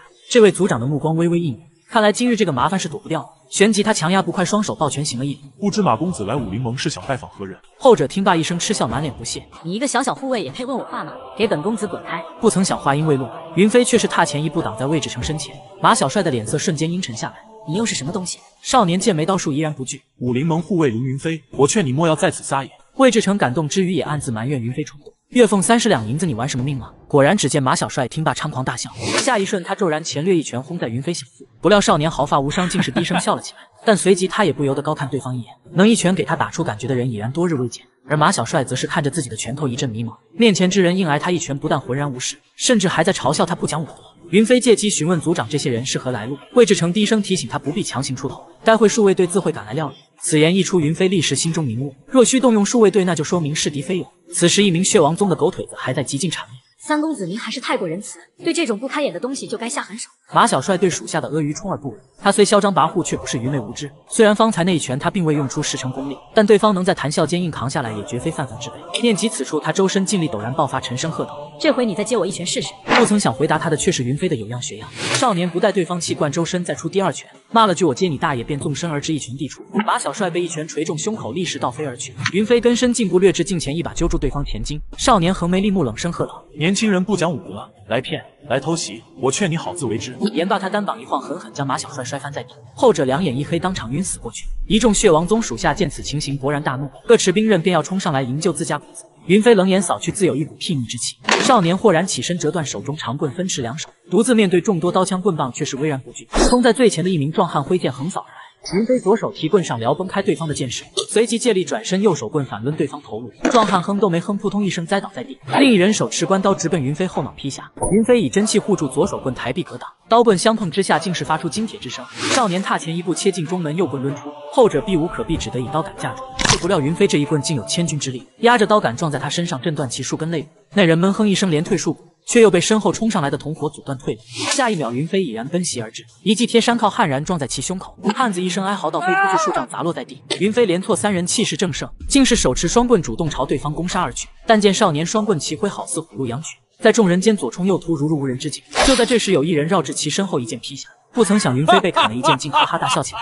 汉子被少年突然的大笑吓得呆愣当场，直至云飞冰冷的目光扫来，他才心道不妙。下一瞬，少年欺身而至，手中两根短棍左右开弓，上下翻飞。汉子只感觉自己仿佛被万马反复踩踏，不过几息过后，便控制不住的口喷鲜血。片刻后，伴随着汉子瘫倒在地，生死不知。武林盟门口除了云飞，已再无一人站着。魏志成凑上前来询问云飞伤势如何。后者微微一笑，表示并无大碍。赶来的数卫队也恰巧目睹云飞出手，此时一个个瞪大双眼，满脸的不可思议。半晌，还是为首之人回过神来，走至近前，表示接下来的善后事宜交给他们即可。言罢，他吩咐手下将血王宗众人押往门内。就在他准备离去之际，云飞突然将其叫住：“这些人你们可以带走，但他们的兵刃得留给我们护卫队。”中年男子听罢，双眼微眯。那些人无非也就是跟血王宗谈判的筹码，但他们的兵刃可是转手就能卖钱。男子当即板起脸来，挥手拒绝。此乃我戍卫队之责，你们护卫队无权干涉。云飞盯着对方的眼睛，毫不退让，要么留下一半的兵刃，要么连你的武器也一并留下。男子闻言，心头一颤。方才云飞的身手，他也看在眼中。正所谓好汉不吃眼前亏，况且他们数卫队也确实没做什么。一念至此，他连忙打了个哈哈，借坡下驴，表示就按云飞说的留下一半兵刃。少年将这些得来的兵刃码放整齐，这可是他辛苦搏杀赢来的战利品。此时魏志成询问他背后伤势如何，后者表示并没有什么太大的感觉。这位族长神情严肃，表示剑伤不比拳脚，无论如何都要检查一下云飞的伤势。可等他扒开衣衫细看，却是双目圆瞪，这背上哪还有什么伤口可言？少年被敌人一剑劈在后背，可他非但不疼，反而哈哈大笑。更让人匪夷所思的是，明明已经划破衣衫，可事后检查却发现并没有伤口。魏志成看罢，长舒了一口气，只道是对方那一剑砍的并不深。故而没有伤到云飞的皮肉。一番休整过后，云飞将几把武器尽数变卖，随即他来到脂房，将一小包银子送给队长崔红万，询问对方这是何意。云飞当即将事情经过如实禀报。血王宗来寻衅之事，我已知晓，但这变卖兵刃的钱财理应归你所有，不必给我。云飞表示，他将所得银钱分为两份，一份由他当值的小组平分，这一份则是留给队长和其他兄弟的。按理说，云飞一人退敌，这些钱财尽数拿走也在情理之中。但崔红万没想到他还会想着众人。此间事了，云飞行了一礼，便准备告辞离去。崔红万看着少年离去的背影，频频点头。此子年纪轻轻便有这般胸怀，实属难得。云飞想的倒没有那么复杂，他之前在穷村就是十里八乡的孩子王，从小就知道财聚人散财散人聚的道理。武林盟和穷村本质上并无区别。走着走着，他忽地感觉到背后一阵麻痒，可伸手摸去，确实没摸到任何伤口。适才那人一剑劈来，他其实感受到了皮肉被划开，只是被真气归于丹田的舒爽掩盖了下去。一念至此，他手扶下颚，陷入沉思。这种麻痒之感，莫非是伤口自行愈合所致？难道是因为我修习的剑鱼神功？云飞越想越觉得这个解释颇为靠谱。他之前在锤炼体魄时也经常受伤，可恢复的速度也快得惊人。想来应该是这套功法暗含了某种保命手段。否则，寻常人又怎能受得住那种修炼方法？却说直房内，魏志成满意的将钱袋揣好，他分了十两银子，相当于小半个月的收入。其余分到钱的护卫也都个个兴高采烈，纷纷看向刚走进来的云飞，连声道谢。后者呲着大牙，开心不已，心中窃喜自己找的这份差事着实不赖。众人闲聊了半天，又轮到云飞小组当值，魏志成当即带领两名属下再度来到门口。如今的云飞已经对护卫一直相当熟悉，不论是来交货的商贩，还是运泔水的小工，他只扫上一眼便能判断出个八九不离十。况且每日进出大部分都是熟悉的面孔，他只需要注意偶尔出现的生面孔即可。就在此时，他突然瞪大双眼看向不远处，只见一个身高足有九尺的壮汉正迎面走来。云飞下意识的在心中暗暗低语：这家伙要是来找事的，那可有怕了。安康同样注意到了那名壮汉，此时已是吓得汗流浃背。魏志成一看之下也是惊得豁然起身。片刻之后，待到壮汉行至大门口其他路人慑于壮汉的威势，纷纷避之不及。魏志成强压心中恐惧，迎上前去拦住对方。敢问尊驾为何要来武林盟？老夫来此自然是有事要办。闻听此言，魏志成的眉头紧紧皱起。对方这说的完全是废话，但他还是耐着性子又询问壮汉的名号。壮汉只扔下“巨力剑”三个字，看也不看这位族长，拔腿便往盟内走去。魏志成迅速在脑海中搜索了一番，却对“巨力剑”这三个字毫无印象。念及此处，他心中一横，沉声喝道：“且慢，还请阁下拿出护毒腰牌证明身份。”壮汉听罢，转过身来，脸色一沉：“莫非你不认得老夫？”魏志成表示自己孤陋寡闻。确实对巨力剑没什么印象。壮汉闻听此言，不由得眼角一阵抽搐。他强压怒火，伸手抽出腰间大剑，伴随着一声轻吟，魏志成如梦初醒。只见宽阔的剑身之上，一条墨龙栩栩如生，在阳光的照射下，似要破剑而出，翱翔九天。壮汉冷哼一声，继续开口：“那你可认得老夫这把墨龙剑？”不曾想，话音未落，云飞却是挥拳而至。他根本没听见两人的对话，看到壮汉对自家族长拔剑相向。他想也没想，飞身上前就是一拳地出。魏志成本想伸手阻拦，可他的身法哪里拦得住云飞？眼见云飞一拳打在壮汉胸口，这位族长立时如泥塑一般僵在原地。原来甲组族长许云今早跟他嘱咐，说是武林盟费尽心力请来一位高手加入，此人名为梅灿荣，所用的兵刃乃是名动江湖的墨龙剑。魏志成早已将对方的名字记录在册，却唯独忘了多问一嘴对方可有什么绰号。不曾想却闹出现在这么个天大的乌龙。却说梅灿荣踉跄了几步，稳住身形，语带讶异：“好小子，千金难买一声响。”你这功夫已然登堂入室。云飞听到对方的称赞，没有丝毫得意，反倒是提起了十二分的小心。方才他那一拳打到壮汉胸口时，他能清晰的感知到对方身体在瞬间硬如钢铁，显然是练有一身极强的横练功夫，可以算是他出师以来的第一位劲敌。一念至此，他从袖口抽出一个绳套挂在指尖，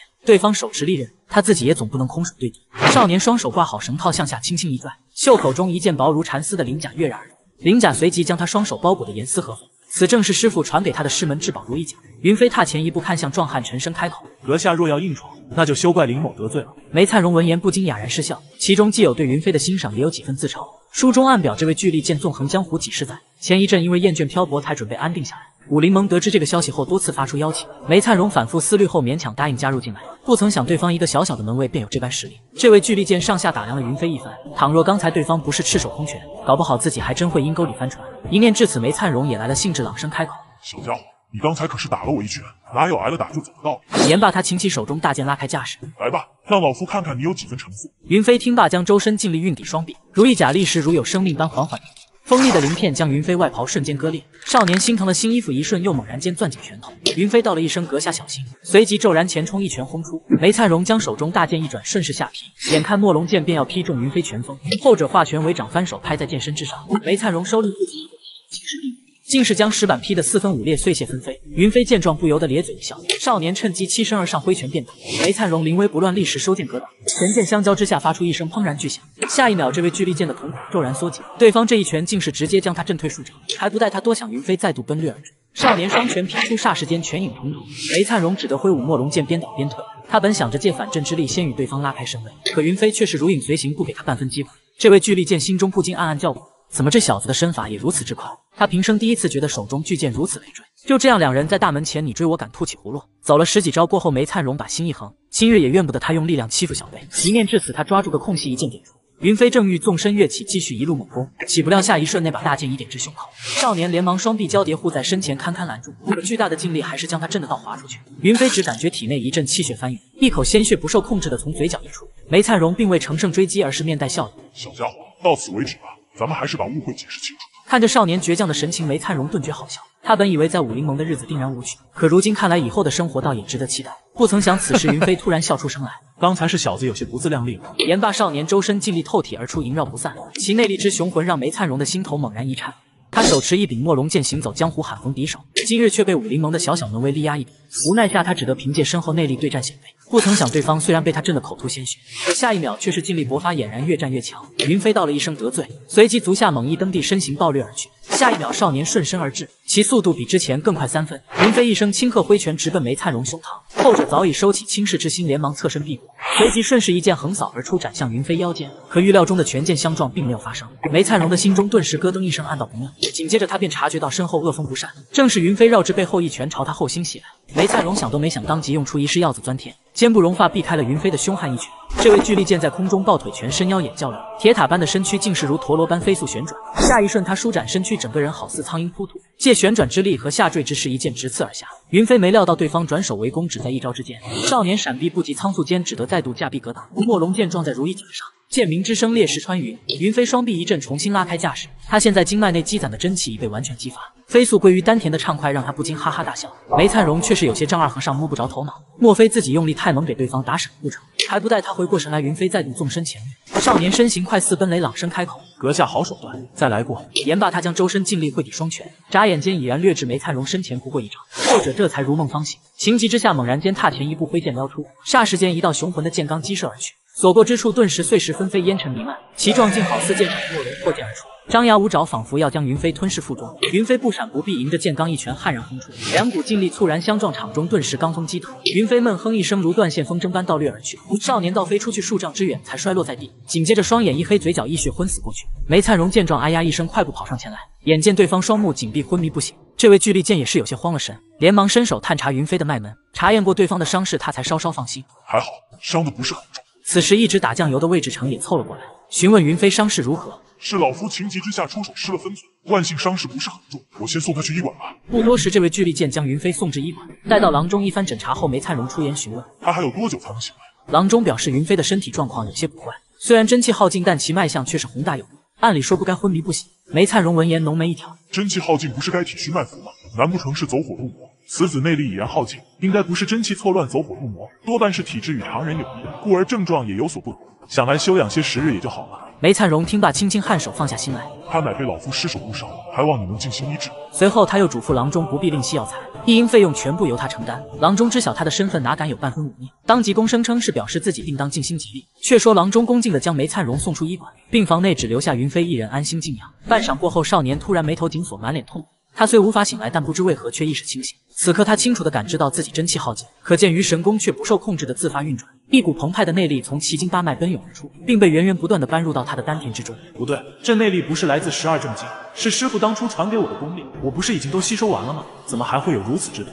云飞只感觉自己的丹田仿佛要被撑炸，可雄浑的内力还是源源不断被纳入丹田。少年的奇经八脉如蚯蚓般蠕动，狰狞可怖。他的丹田也在这股内劲的冲击下缓缓增大，这股内力在他丹田汇聚后，又从关元穴冲出，继而过会阴穴后，直冲长强穴，涌进督脉之中。真气如大江东去，势不可挡，在督脉中一路而上，先过腰鱼穴，再冲命门穴，最后直达天灵百会。云飞顿时只感觉自己头痛欲炸，但他无力应对，只能咬牙忍受。片刻后，那股真气终于冲破百会，透顶而出。云飞也是在此时猛然张口，喷出一道血溅，可随即那股血脉沸腾之感便消失不见，取而代之的则是浑身上下畅快无比。可还不待他享受这片刻安宁，体内的奇经八脉再度躁动起来。竟是开始重复刚才的过程，一般无二。长话短说，转眼间已经过了两个时辰。云飞虽然不能动弹，却是被折腾回来。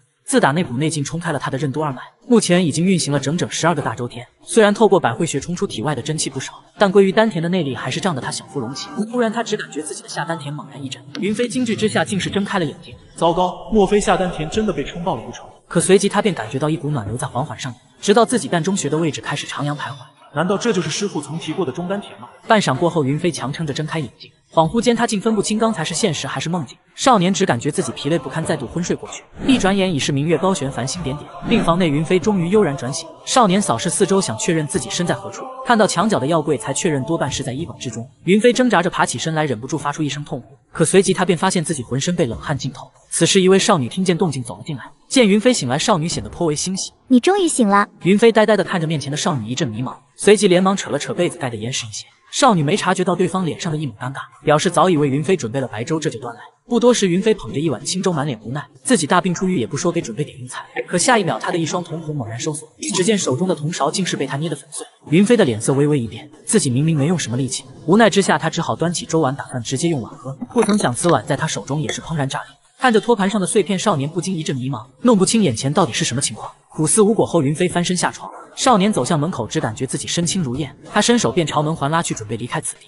不曾想，生铁打造的门环也是一碰即碎。云飞见状，不由得满脸骇然，莫非这家医馆想要借此讹诈自己？可随即他检查自身，突然发现了异常，自己竟然有了两个丹田，而且内力也增长了足足一倍。少年站在原地一动不动，呆若木鸡。莫非先前的经历不是梦境，而是真的？按下心头，震惊。云飞又仔细感知了一番，他赫然发现，不只是内力增加到了一甲子，自身的气力也增长了颇多。微微用力之下，小臂上立时青筋暴起。欣喜之余，他不禁一声长叹，看来以后需要控制一下力道，否则自己剔个牙，岂不是要把牙齿崩飞？就在云飞感慨自己脱胎换骨的变化时，郎中听到病房内的异响，推门走了进来。见满屋狼藉，他当即询问发生了何事。云飞尴尬的挠了挠头，表示自己会照价赔偿，并称自己已然痊愈，想要告辞离去。郎中听罢，让云飞伸手过来准备复查一番。他伸出二指，轻轻搭在少年脉门，细细感知，旋即他瞳孔巨震，满脸骇然，喃喃低语：“怎么会这样？”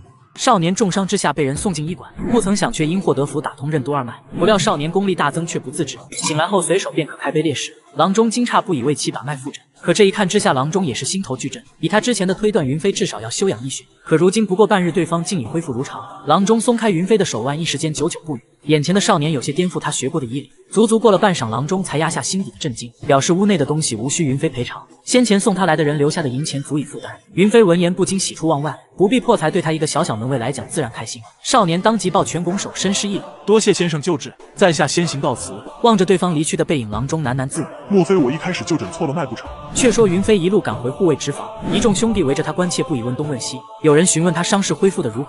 也有人谆谆告诫他以后千万莫要冲动，感受着兄弟们发自肺腑的热心关怀，少年心底自有一股暖意在缓缓流淌。此时魏志成招呼一声，表示又该他们小组轮岗了。三人当即来到武林盟大门处开始值夜。半晌过后，安康开始哈欠连天，唉声叹气。云飞询问同伴何故如此，后者表示他总感觉夜班的时间更难熬。少年听罢微微一笑，直言自己也深有同感。安康嘴角泛起一丝坏笑，打开了话匣子，表示这种时候聊聊女人再合适不过。随即他询问云飞是否有过女人，后者神情尴尬，表示从没有过。安康闻言立时打趣起来。你这相貌再加上身手，怎会没有女人为你倾心？云飞表现出一副满不在乎的样子，直言自己也不知为何会如此。实则他又在心底暗暗吐槽起师傅，都怪师傅当初把我骗到山上，练了那么多年的三流武功，连个女人的影子都看不到。可一想起师傅，他又忍不住嘴角翘起。当年遇见那个老头子的情形还历历在目。彼时的云飞只有十五六岁，还是个孩子王，整日跟十里八村的地痞无赖打架斗殴。虽然他身材瘦弱，但架不住他敢下死手，故而哪怕是那些成年地痞也占不到什么便宜。但常在河边走，哪有不湿鞋？有一日，云飞就险些被人打死。恰巧被路过的师傅看到，将他救了下来。回想起往事，云飞心中不禁一阵怅然。其实他拜师学艺也并非是为了吃得好过得好，仅仅是被那一日师傅出手的样子迷住了而已。云飞舔了舔发干的嘴唇，语带唏嘘：“我在山上学艺待了整整四年，哪见过什么女人？见到只母猪都感觉长得眉清目秀。”安康闻言被逗得哈哈大笑：“那你岂不是到现在连女人的手都没碰？”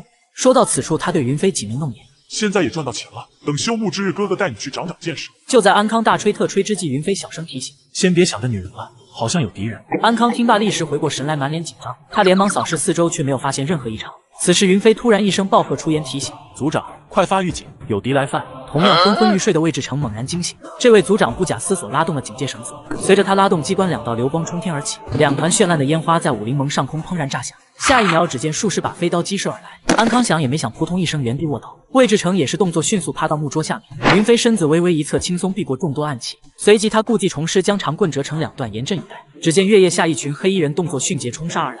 云飞一眼扫去，粗略估计对方竟有四十人上下。魏志成已经趁此间隙爬起身来，打开大门。安康连忙招呼云飞赶紧进来。此时第二波暗器如飞黄般呼啸而至。云飞没想到这两人还有这种骚操作，当下毫不犹豫转身也跟着跑了进来。暗器追着他的屁股飞射而至，魏志成连忙双膀较力关闭大门，拦下暗器的同时也将贼人挡在门外。不曾想数息过后，贼人们竟是翻墙而过，丈余高的围墙在他们面前形同虚设。云飞见此情形，嘴角一撇，看来一场恶战在所难免。魏志成心中也是暗暗叫苦。怎么一轮到自己当值就这么多麻烦？安康更是面色凝重，冷汗直流。他就是纯打酱油的，哪里见过这般阵仗？云飞处变不惊，沉声提醒他去通知盟内其他武者支援。后者这才如梦方醒，转身便往内院跑去。一名贼人怒喝一声：“哪里走！”随即纵身前冲，一剑刺向安康后心，却不料一道身影斜掠而至。一棍扫在剑身，将其拦下。少年微微一笑，脸上没有半分惧色，想过去先过了我这关再说。黑衣人不禁微微一惊，他没想到对方一个小小门卫竟有如此身手。他怒斥了一句不知死活的东西，旋即挺剑朝云飞胸口直刺而来。后者矮身前蹲躲过对方狠辣一剑，黑衣人见少年切近身前，脸色一变。下一瞬，云飞双棍交错，两根短棍分袭黑衣人上下双盘，后者一声惨叫，被掀翻数丈，摔落在地。此时身后又有两名贼人欺身而至，云飞身形晃动，又与两人战至一处。没走出五招，少年右棍扫中一人后颈，左手短棍随即又砸中另一人锁骨，两名贼人一声痛呼，立时跌倒在地。还不待他稍缓口气，又有一人掠至近前。少年冷眼扫去，心中暗暗思量：这些人攻防之间进退有度，绝非乌合之众。还不待他多想，那名贼人已然挥剑攻来，霎时间剑影翻飞，笼罩云飞周身上下。少年仓促之间，双棍齐舞，挡了个密不透风。但此人用剑非是先前血王宗那些杂鱼可比，转眼间竟是将云飞的两根木棍削成数段。云飞且战且退，甩手将最后一节木棍飞出。黑衣人挥剑荡开紧追的脚步，也微微一滞。少年趁此机会戴好指套，双臂轻轻一震，师门至宝如意甲撕裂，袖袍跃然掌中。云飞驻足站定，微微一笑，拉开架势，澎湃的劲力被其运抵拳风，霎时间真气激荡。见此异状，黑衣人惊异之下询问那是何物。云飞一声暴喝，身形骤然前掠，快似闪电。要你命的东西。话音未落，少年的刚猛一拳疏忽而至。就在云飞以为自己可以力退群贼之际，只有两寸厚的城门竟是砰然炸裂，赫然是又有一波贼人破门而入。魏志成早已被眼前的阵仗吓得瑟瑟发抖。他还颇有自知之明，没凑上去给云飞添乱，只是在一旁看着云飞独占群贼，默默祈祷。却说云飞单臂一晃，崩开三把长剑，在尽力的冲击下，他又开始哈哈大笑。一名黑衣人被少年笑得有些心底发毛，怒斥一声：“疯子！”提剑直奔云飞哽嗓咽喉刺去。后者在群贼的围攻之下，笑容逐渐变态。这种锤炼之法可比他跳崖撞树要快上太多。云飞感受着丹田中真气的巨龙，喜不自胜。此刻门卫这个岗位的含金量还在上升。蓦然间，少年放声狂笑，转手围攻一拳轰出，包裹着如意甲的右拳似有开山之威骤然而至。一名贼人不知轻重，还妄图用手臂格挡，岂不料刚一接触就被砸了个骨断筋折。少年的刚猛一拳毫无阻滞轰在其胸口，贼人立时如遭重锤，惨叫一声倒飞而去，随即如死狗一般扑通一声摔落在地。而正在此时，一道如鬼魅般的身影悄然袭来。少年身负绝艺，以寡敌众，不落下风。一双铁拳随手砸去，便能让人骨断筋折。但正所谓好虎架不住群狼，双拳难敌四手。饶是他身手了得，也难防贼人背后偷袭。长剑如毒蛇吐信，瞬间刺入他肋下一环。云飞挥拳将长剑崩飞，随即转身后掠。黑衣人如复古之躯，根深进步挥剑斜劈。少年左臂一晃，凭借如意甲荡开利剑。云飞稳住身形，控制不住的笑出声来。没等他笑完，又有三名贼人连袂而至。这四名贼人的身手远胜先前那些杂鱼，在四人的围攻之下，云飞顿时慌手忙脚。更让他难受的是，四人的攻击如疾风骤雨，以致内力汇聚的速度远超他使用的极限。半晌过后，少年再也笑不出来。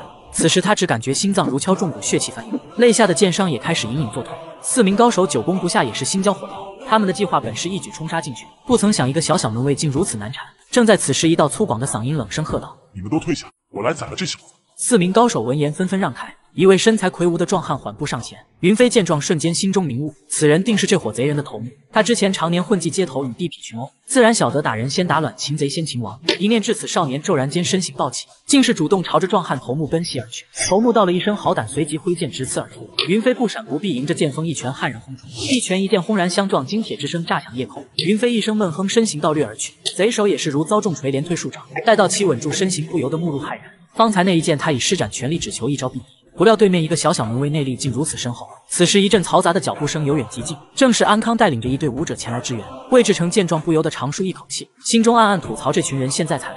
贼首看向云飞，杀意更甚，森然开口：“就是你小子害得我们功亏一篑，今日我必杀你！”言罢，他一阵手中长剑发出锵锵剑鸣，四名属下闻言也聚拢过来。显然是准备不讲武德，一起围攻。云飞毫无惧色，小脖一歪，开启嘴炮模式。就凭你们这些地痞无赖也想杀我？听见对方叫自己地痞，贼手的瞳孔骤然缩紧。他闯荡江湖多年，何曾受过这般羞辱？见对方面露不忿，云飞继续拖延时间。真正的武者谁会藏头露尾，半夜偷袭？只有我们村那些踹寡妇门的地痞无赖才会如此行事。几人被喷得呆愣，当场一时间有些头脑恍惚。云飞火力全开，拿出村头泼妇骂街的本事。堂堂七尺男儿与人比斗，还拿兵器撞来，我都替你们感到丢人。一名贼人看向手中的长剑，有些大脑短路。不是，你小子那双手套不也是兵器吗？喷了片刻，云飞面露狠色，咬牙切齿。我倒要看看咱们几个谁先死。言罢，他气贯周身，拳锋之上，顿时尽力吞吐。贼首见此情形，心中愈发笃定，此子绝不可能是个普普通通的门卫。今夜的任务显然已经失败，但倘若能宰了这个小子，也算有所收获。就在他准备动手之时，突然耳轮一动，顺着声音望去，只见又有一伙人飞速迫近，正是武林盟的数卫队闻讯赶至。贼首躲过一枚暗器，瞪向云飞，面带不甘。今日算你小子运气好，暂且留你一条小命。云飞也听见了脚步声，试图再度拖住对方。你瞅什么瞅？用得着你跟我在这客气？有本事你今天就把我这条命拿走！贼首冷哼一声，不再搭话，足尖猛一蹬地，纵身掠去。其余贼人见状，也不再纠缠，纷纷腾身跃出院墙。云飞长舒了一口气，弯腰拾起对方遗落的一把长剑。少年暗暗抱怨对方乱扔垃圾，不讲公德，旋即甩手将长剑钉入墙边的一棵大树。数卫队刚赶到，便看见贼人翻墙离开的一幕。众人连忙反身朝大门跑去，嘴里还呼喊着让对方站住。云飞见状，嘴角微微一撇，心中吐槽：装模作样，人家能站住就见鬼了。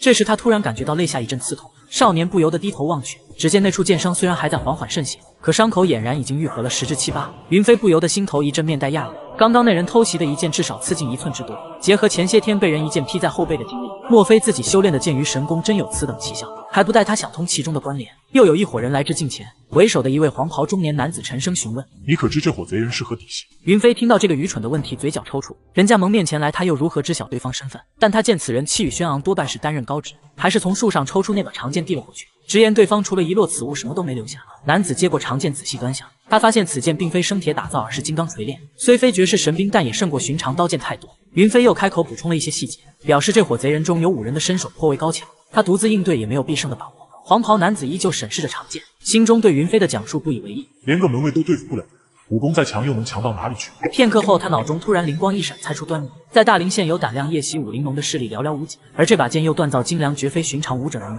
再结合前几日血王宗三公子寻衅被擒，今夜贼人的身份已然呼之欲出。一念至此，他看向云飞，沉声开口：“这伙贼人极有可能是血王宗的血死剑，夜袭武林盟大抵就是为了救走他们的三公子。”说到此处，男子眉头紧锁，陷入沉思。明日就是武林盟和血王宗谈判的日子，此剑可当做证据，索取更多的利益。半晌过后，他收敛思绪，看向云飞：“你就是那个叫奈奏王的门卫？”后者脸色一垮，表示自己没听说过。那我换个问法，擒住血王宗三公子的人是你吧？不才正是在下，我乃内堂青龙坛坛主曾玉手，不妨与你明说，这血死剑乃是血王宗的精锐好手，你们护卫队多半不是对手，此地便先由我们青龙坛镇守，去把你们崔队长喊来，我与他演说。云飞闻言，面色凝重，躬声领命。可还不待他前去通知，崔洪万已然快步赶来。曾玉手又将刚才那番话交代一遍，崔洪万自然不敢反驳，连连称是。按下青龙潭的武者如何善后，暂且不表。咱们单说云飞等人一路返回执法，众人纷纷询问少年伤势如何。云飞表示已经涂过金疮药，并无大碍。酱油一号安康对他连声道谢，表示若非云飞出手，自己早已命丧黄泉。酱油二号魏志成也是满脸感激，直言若非云飞在场，自己也已魂归杜府。说着还要再检查一番对方的伤口，只不过揭开绷带，发现伤口早已痊愈。云飞对众人的关切倒是心怀感动，只是对门卫这份工作有了些许动摇。当初许熙说这份工作没什么危险可言，但这阵子的经历让他感觉对方纯属胡扯。半晌过后，他咬紧牙关，心底发狠：我年纪轻轻，一遇危险便谋求退路，日后怎堪攀登武道顶峰？况且与刚做护卫时相比，我的武功已经进步许多，面对那四个高手的围攻，也能勉强应付。想到此处，云飞缓缓闭上双眼。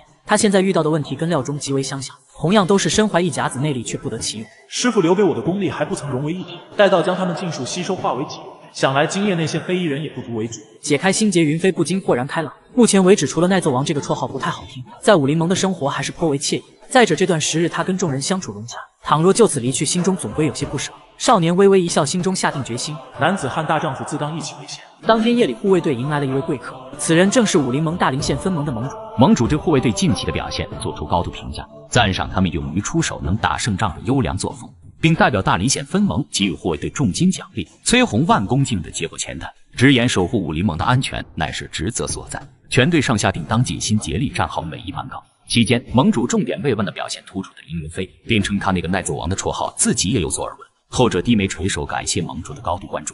并表示会不畏困难守护武林盟的大门。盟主闻言满意的点了点头，询问云飞有何要求可以尽管提出。云飞神情一肃，沉声开口：“属下别无他求，只求盟主能赐下几套护身甲给弟兄。”盟主听罢微微错愕：“你是指护卫队穿的那种轻甲吗？”“不错，虽然我们护卫队的职责是巡查和运甲，但关键时刻护身甲或许能保住兄弟们的性命。”盟主当场拍板直言会拨给护卫队八套护身甲。云飞再度躬身施礼，表示感谢。最后，盟主又给了他们一旬假期，好好休整。在此期间，大门的安全先交由内堂负责。众多护卫队成员免不了又是一番感激。却说第二日，众人休沐相约在院中小聚。云飞摆弄着一对新做的短棍，频频点头。魏志成抿了一口酒水，无奈一笑：这个属下怎么就偏偏对短棍情有独钟？安康也甚是好奇，不由得出言询问。云飞表示自己当年混迹街头，只有短棍用着最为顺手。小时候跟地痞动手，基本上都是用拳脚。如果遇上不讲武德动刀子的，我也只好用短棍防身。魏志成听罢，立时出言调侃：“怪不得有时候你的眼神那么凶狠，原来是有过这种经历。”云飞表示自己乃是良善出身，跟地痞动手大多是替别人打抱不平。安康表示这一点他绝对相信，从昨夜就能看出云飞肯为朋友两肋插刀。其他护卫也纷纷表示同意。云飞讨要护身甲的时候，他们也颇为感动。被兄弟们如此夸赞，云飞顿时害羞起来。此时，队长崔洪万端起酒碗，来，兄弟们，今日不醉不归。众人轰然应诺，一时间院中欢声不断。酒过三巡之际，一道柔媚的嗓音突然传来。看样子大家喝的都很尽兴嘛。众人顺着声音的方向转头望去，只见一位青衫女子连步轻移来至近前。待到看清女子衣衫上的火红纹饰，魏志成眉头微皱，心中低语：是内堂朱雀坛的人。少年身负绝艺，却甘心做个小小门卫，且任职以来每天还会被人无故殴打。可他不但毫无怨言，甚至对此甘之如饴。只因其习练的功法甚是特殊，越是挨打，功力增长的也就越快。少年凭借此法，在短短半年内便增加了一甲子的内力。适逢宵小夜半来袭，少年一人独退群贼。事后不但引得分盟盟主对其大加赞赏，如今更是有内堂朱雀坛的美人慕名寻来。待到看清来人衣衫上的朱雀纹饰，队长崔洪万也是暗暗心惊。内外两堂的身份本就相差颇多。护卫队在外堂更是最底层的存在，这朱雀坛的武者为何会主动前来？青山女子对众人诧异的表情视而不见，径直来到云飞对面，柔声询问：“敢问这位小哥可是凌云飞护卫？”见对方点头承认，女子又继续开口：“不知可否有幸请凌护卫共饮一杯？”说到此处，女子还特意补充一句：“此地简陋，我们另寻一处可好？”其余众人闻听此言，顿时酒醒了大半。云飞怔怔地望着对方，一时间不知所措。女子见状微微一笑，语带戏谑。怎么，林护卫还担心我吃了你不成？其余同伴早已恨气不争，对他挤眉弄眼。且不说此女乃是内堂武者，身份不俗，单说这身段相貌也都是上上之选。云飞被同伴挤兑的颇为害羞，只得站起身来表示恭敬不如从命。两人一前一后朝院外走去，徒留下一众护卫艳羡不已。不多时，女子将云飞领至一处偏僻院落，两人对面而立，青衣女子率先亮明身份。在下李慕云，师出梨花宫，如今隶属内堂朱雀坛。林某的身份，李姑娘已然知晓。在下师承拳打门，乃是个不入流的小门派。旋即他询问对方为何带自己来此，后者直言其实是自己有事相求。盟内传闻林护卫以挨打为乐，不知可有此事？云飞听罢一脸无奈，表示纯属谣传，在下并无此等癖好，只是有不得已的苦衷。李慕云闻言咧嘴一笑，表示个中细节他也不多问。今日来找云飞，就是单纯的想打几拳。后者略一思量，终究还是点头同意。话音刚落，李慕云身形前略挥拳而上，下一秒小拳拳直接捶在云飞胸口。这位梨花宫高徒左右开弓，粉拳频出，一时间打得云飞站立不稳，节节后退。伴随着经脉内的真气汇聚丹田，云飞又控制不住的笑出声来。李慕云见此情形，银牙紧咬，看来传言也未必是假。言罢，他再度纵身前掠一拳轰出，院落里少年的笑声一时间久久不断。简短截说，两个时辰后，云飞回到护卫队，少年龇牙咧嘴的躺在床上，心中埋怨：我就是想着能长点功力，这女人还真是一点都不客气。安康和魏志成看到他这副样子，立时明悟，看来对方教的不是桃花运，而是桃花劫。云飞一声哀叹，语调凄凉，直言自己被那个女人打了整整两个时辰。二人闻言，立时呆愣当场，不曾想女人竟然恐怖如斯。两人当即询问那女人为何如此凶残。云飞凄然的闭上双眼，表示他也知之不详，只是听了个大概，好像是受了什么委屈。此时此刻，少年心中倒是没有多大怨气，反倒是对师傅的敬意如滔滔江水连绵不断。他这才挨了两个时辰就痛不欲生，遥想师傅当年不知挨了多少顿打。魏志成见云飞如此凄凉，不禁出言安慰，表示护卫队已经八年没来过女人，云飞能跟对方独处两个时辰也算幸运。后者半死不活，惨然开口：“那这种好事，下次让给你们俩可好？”两人闻言面色一肃，表示大可不必。云飞喟然一叹，不再与二人斗嘴。他心中隐隐感觉今天只是个开始。果不其然，在此之后，李慕云频频登门。起初，这位姑娘还会在拳中掺杂内劲，云飞在挨打的同时，功力也会跟着增长。但到后来，这位内堂高手就是单纯的使用蛮力，以致云飞的功力增长缓慢，反倒是筋骨愈发强健。这一日，云飞又被李慕云暴打一顿，跌坐在地。眼见少年浑然无事，甚至还轻笑出声，李慕云不禁秀眉微蹙，啧啧称奇。难道你真有那种癖好不成？云飞懒得回答这个问题，心中暗骂：若非是为了修炼剑于神功，我早就把你车灯都打歪了。见对方沉默不语，李慕云道了声辛苦，便要转身离去。不曾想此时云飞却突然开口叫住了他。这位内堂高手杏眼斜瞥，语带讶异：怎么？莫非挨打还没挨够？李姑娘，怎么说林某也足足挨了你半个月的吧？你总该告诉在下，到底是受了什么委屈？后者闻言娇哼一声，表示告诉他也无妨。原因就是他的上官因为她是女子之身，故而瞧他不起，处处刁难。云飞眯着眼睛打量了对方片刻，他万没想到内堂还不如护卫队氛围融洽。我之前每次生气都是挥剑砍树，结果又因此被上官责骂。直到我听说了你的存在。说到此处，他看向云飞，情真意切。林护卫，幸好有你。听完前因后果，云飞不禁恨得咬牙切齿。一首动人的旋律在少年心底悠然响起。听我说，谢谢你，因为有你温暖了四季。长话短说，护卫队早已恢复了日常工作。这一日又是云飞小组轮岗值守。此时，一辆马车自打街道尽头飞驰而来。云飞远远看见，不由得微微一震。他记得盟内并未通知今日有马车到访。安康也点头附和，表示对方所记不错。一念至此，云飞连忙迎上前去拦停马车。驾车男子直言自己来自武林盟四川省盟，今日前来乃是有要事通知大陵县分盟。按照惯例，对方理应报出乘车之人的身份和门牌，但此人却是只字未提，只表明到访目的。云飞见状，神情一肃，沉声开口：“职责所在，还请告知马车之内所坐何人？”驾车之人递出一块腰牌，表示车内之人乃是猛虎刀彭茂彦大侠。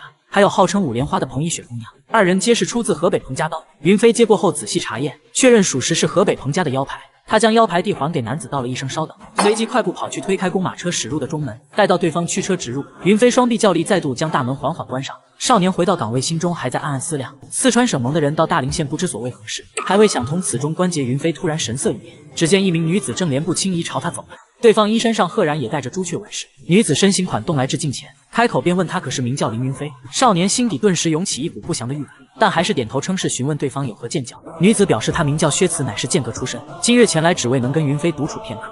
云飞表示自己仍在当值，不可擅离职守。女子丢下一句他会尽后，随即转身走向一旁。眼见女子真的守在墙根静静候着，安康一脸坏笑看向云飞，低声感慨：没看出来你小子艳福不浅啊。魏志成虽未出言调侃，却也是神态暧昧。云飞暗骂两人见到女人就迈不动步。他偷眼瞥去，心中不祥之感愈发强烈。这姑娘该不会是跟李慕云一样，专门来找我撒气的吧？事实证明，云飞果然有算命先生的潜质。薛慈来找他的目的跟李慕云如出一辙，只不过薛慈的理由显然更加离谱。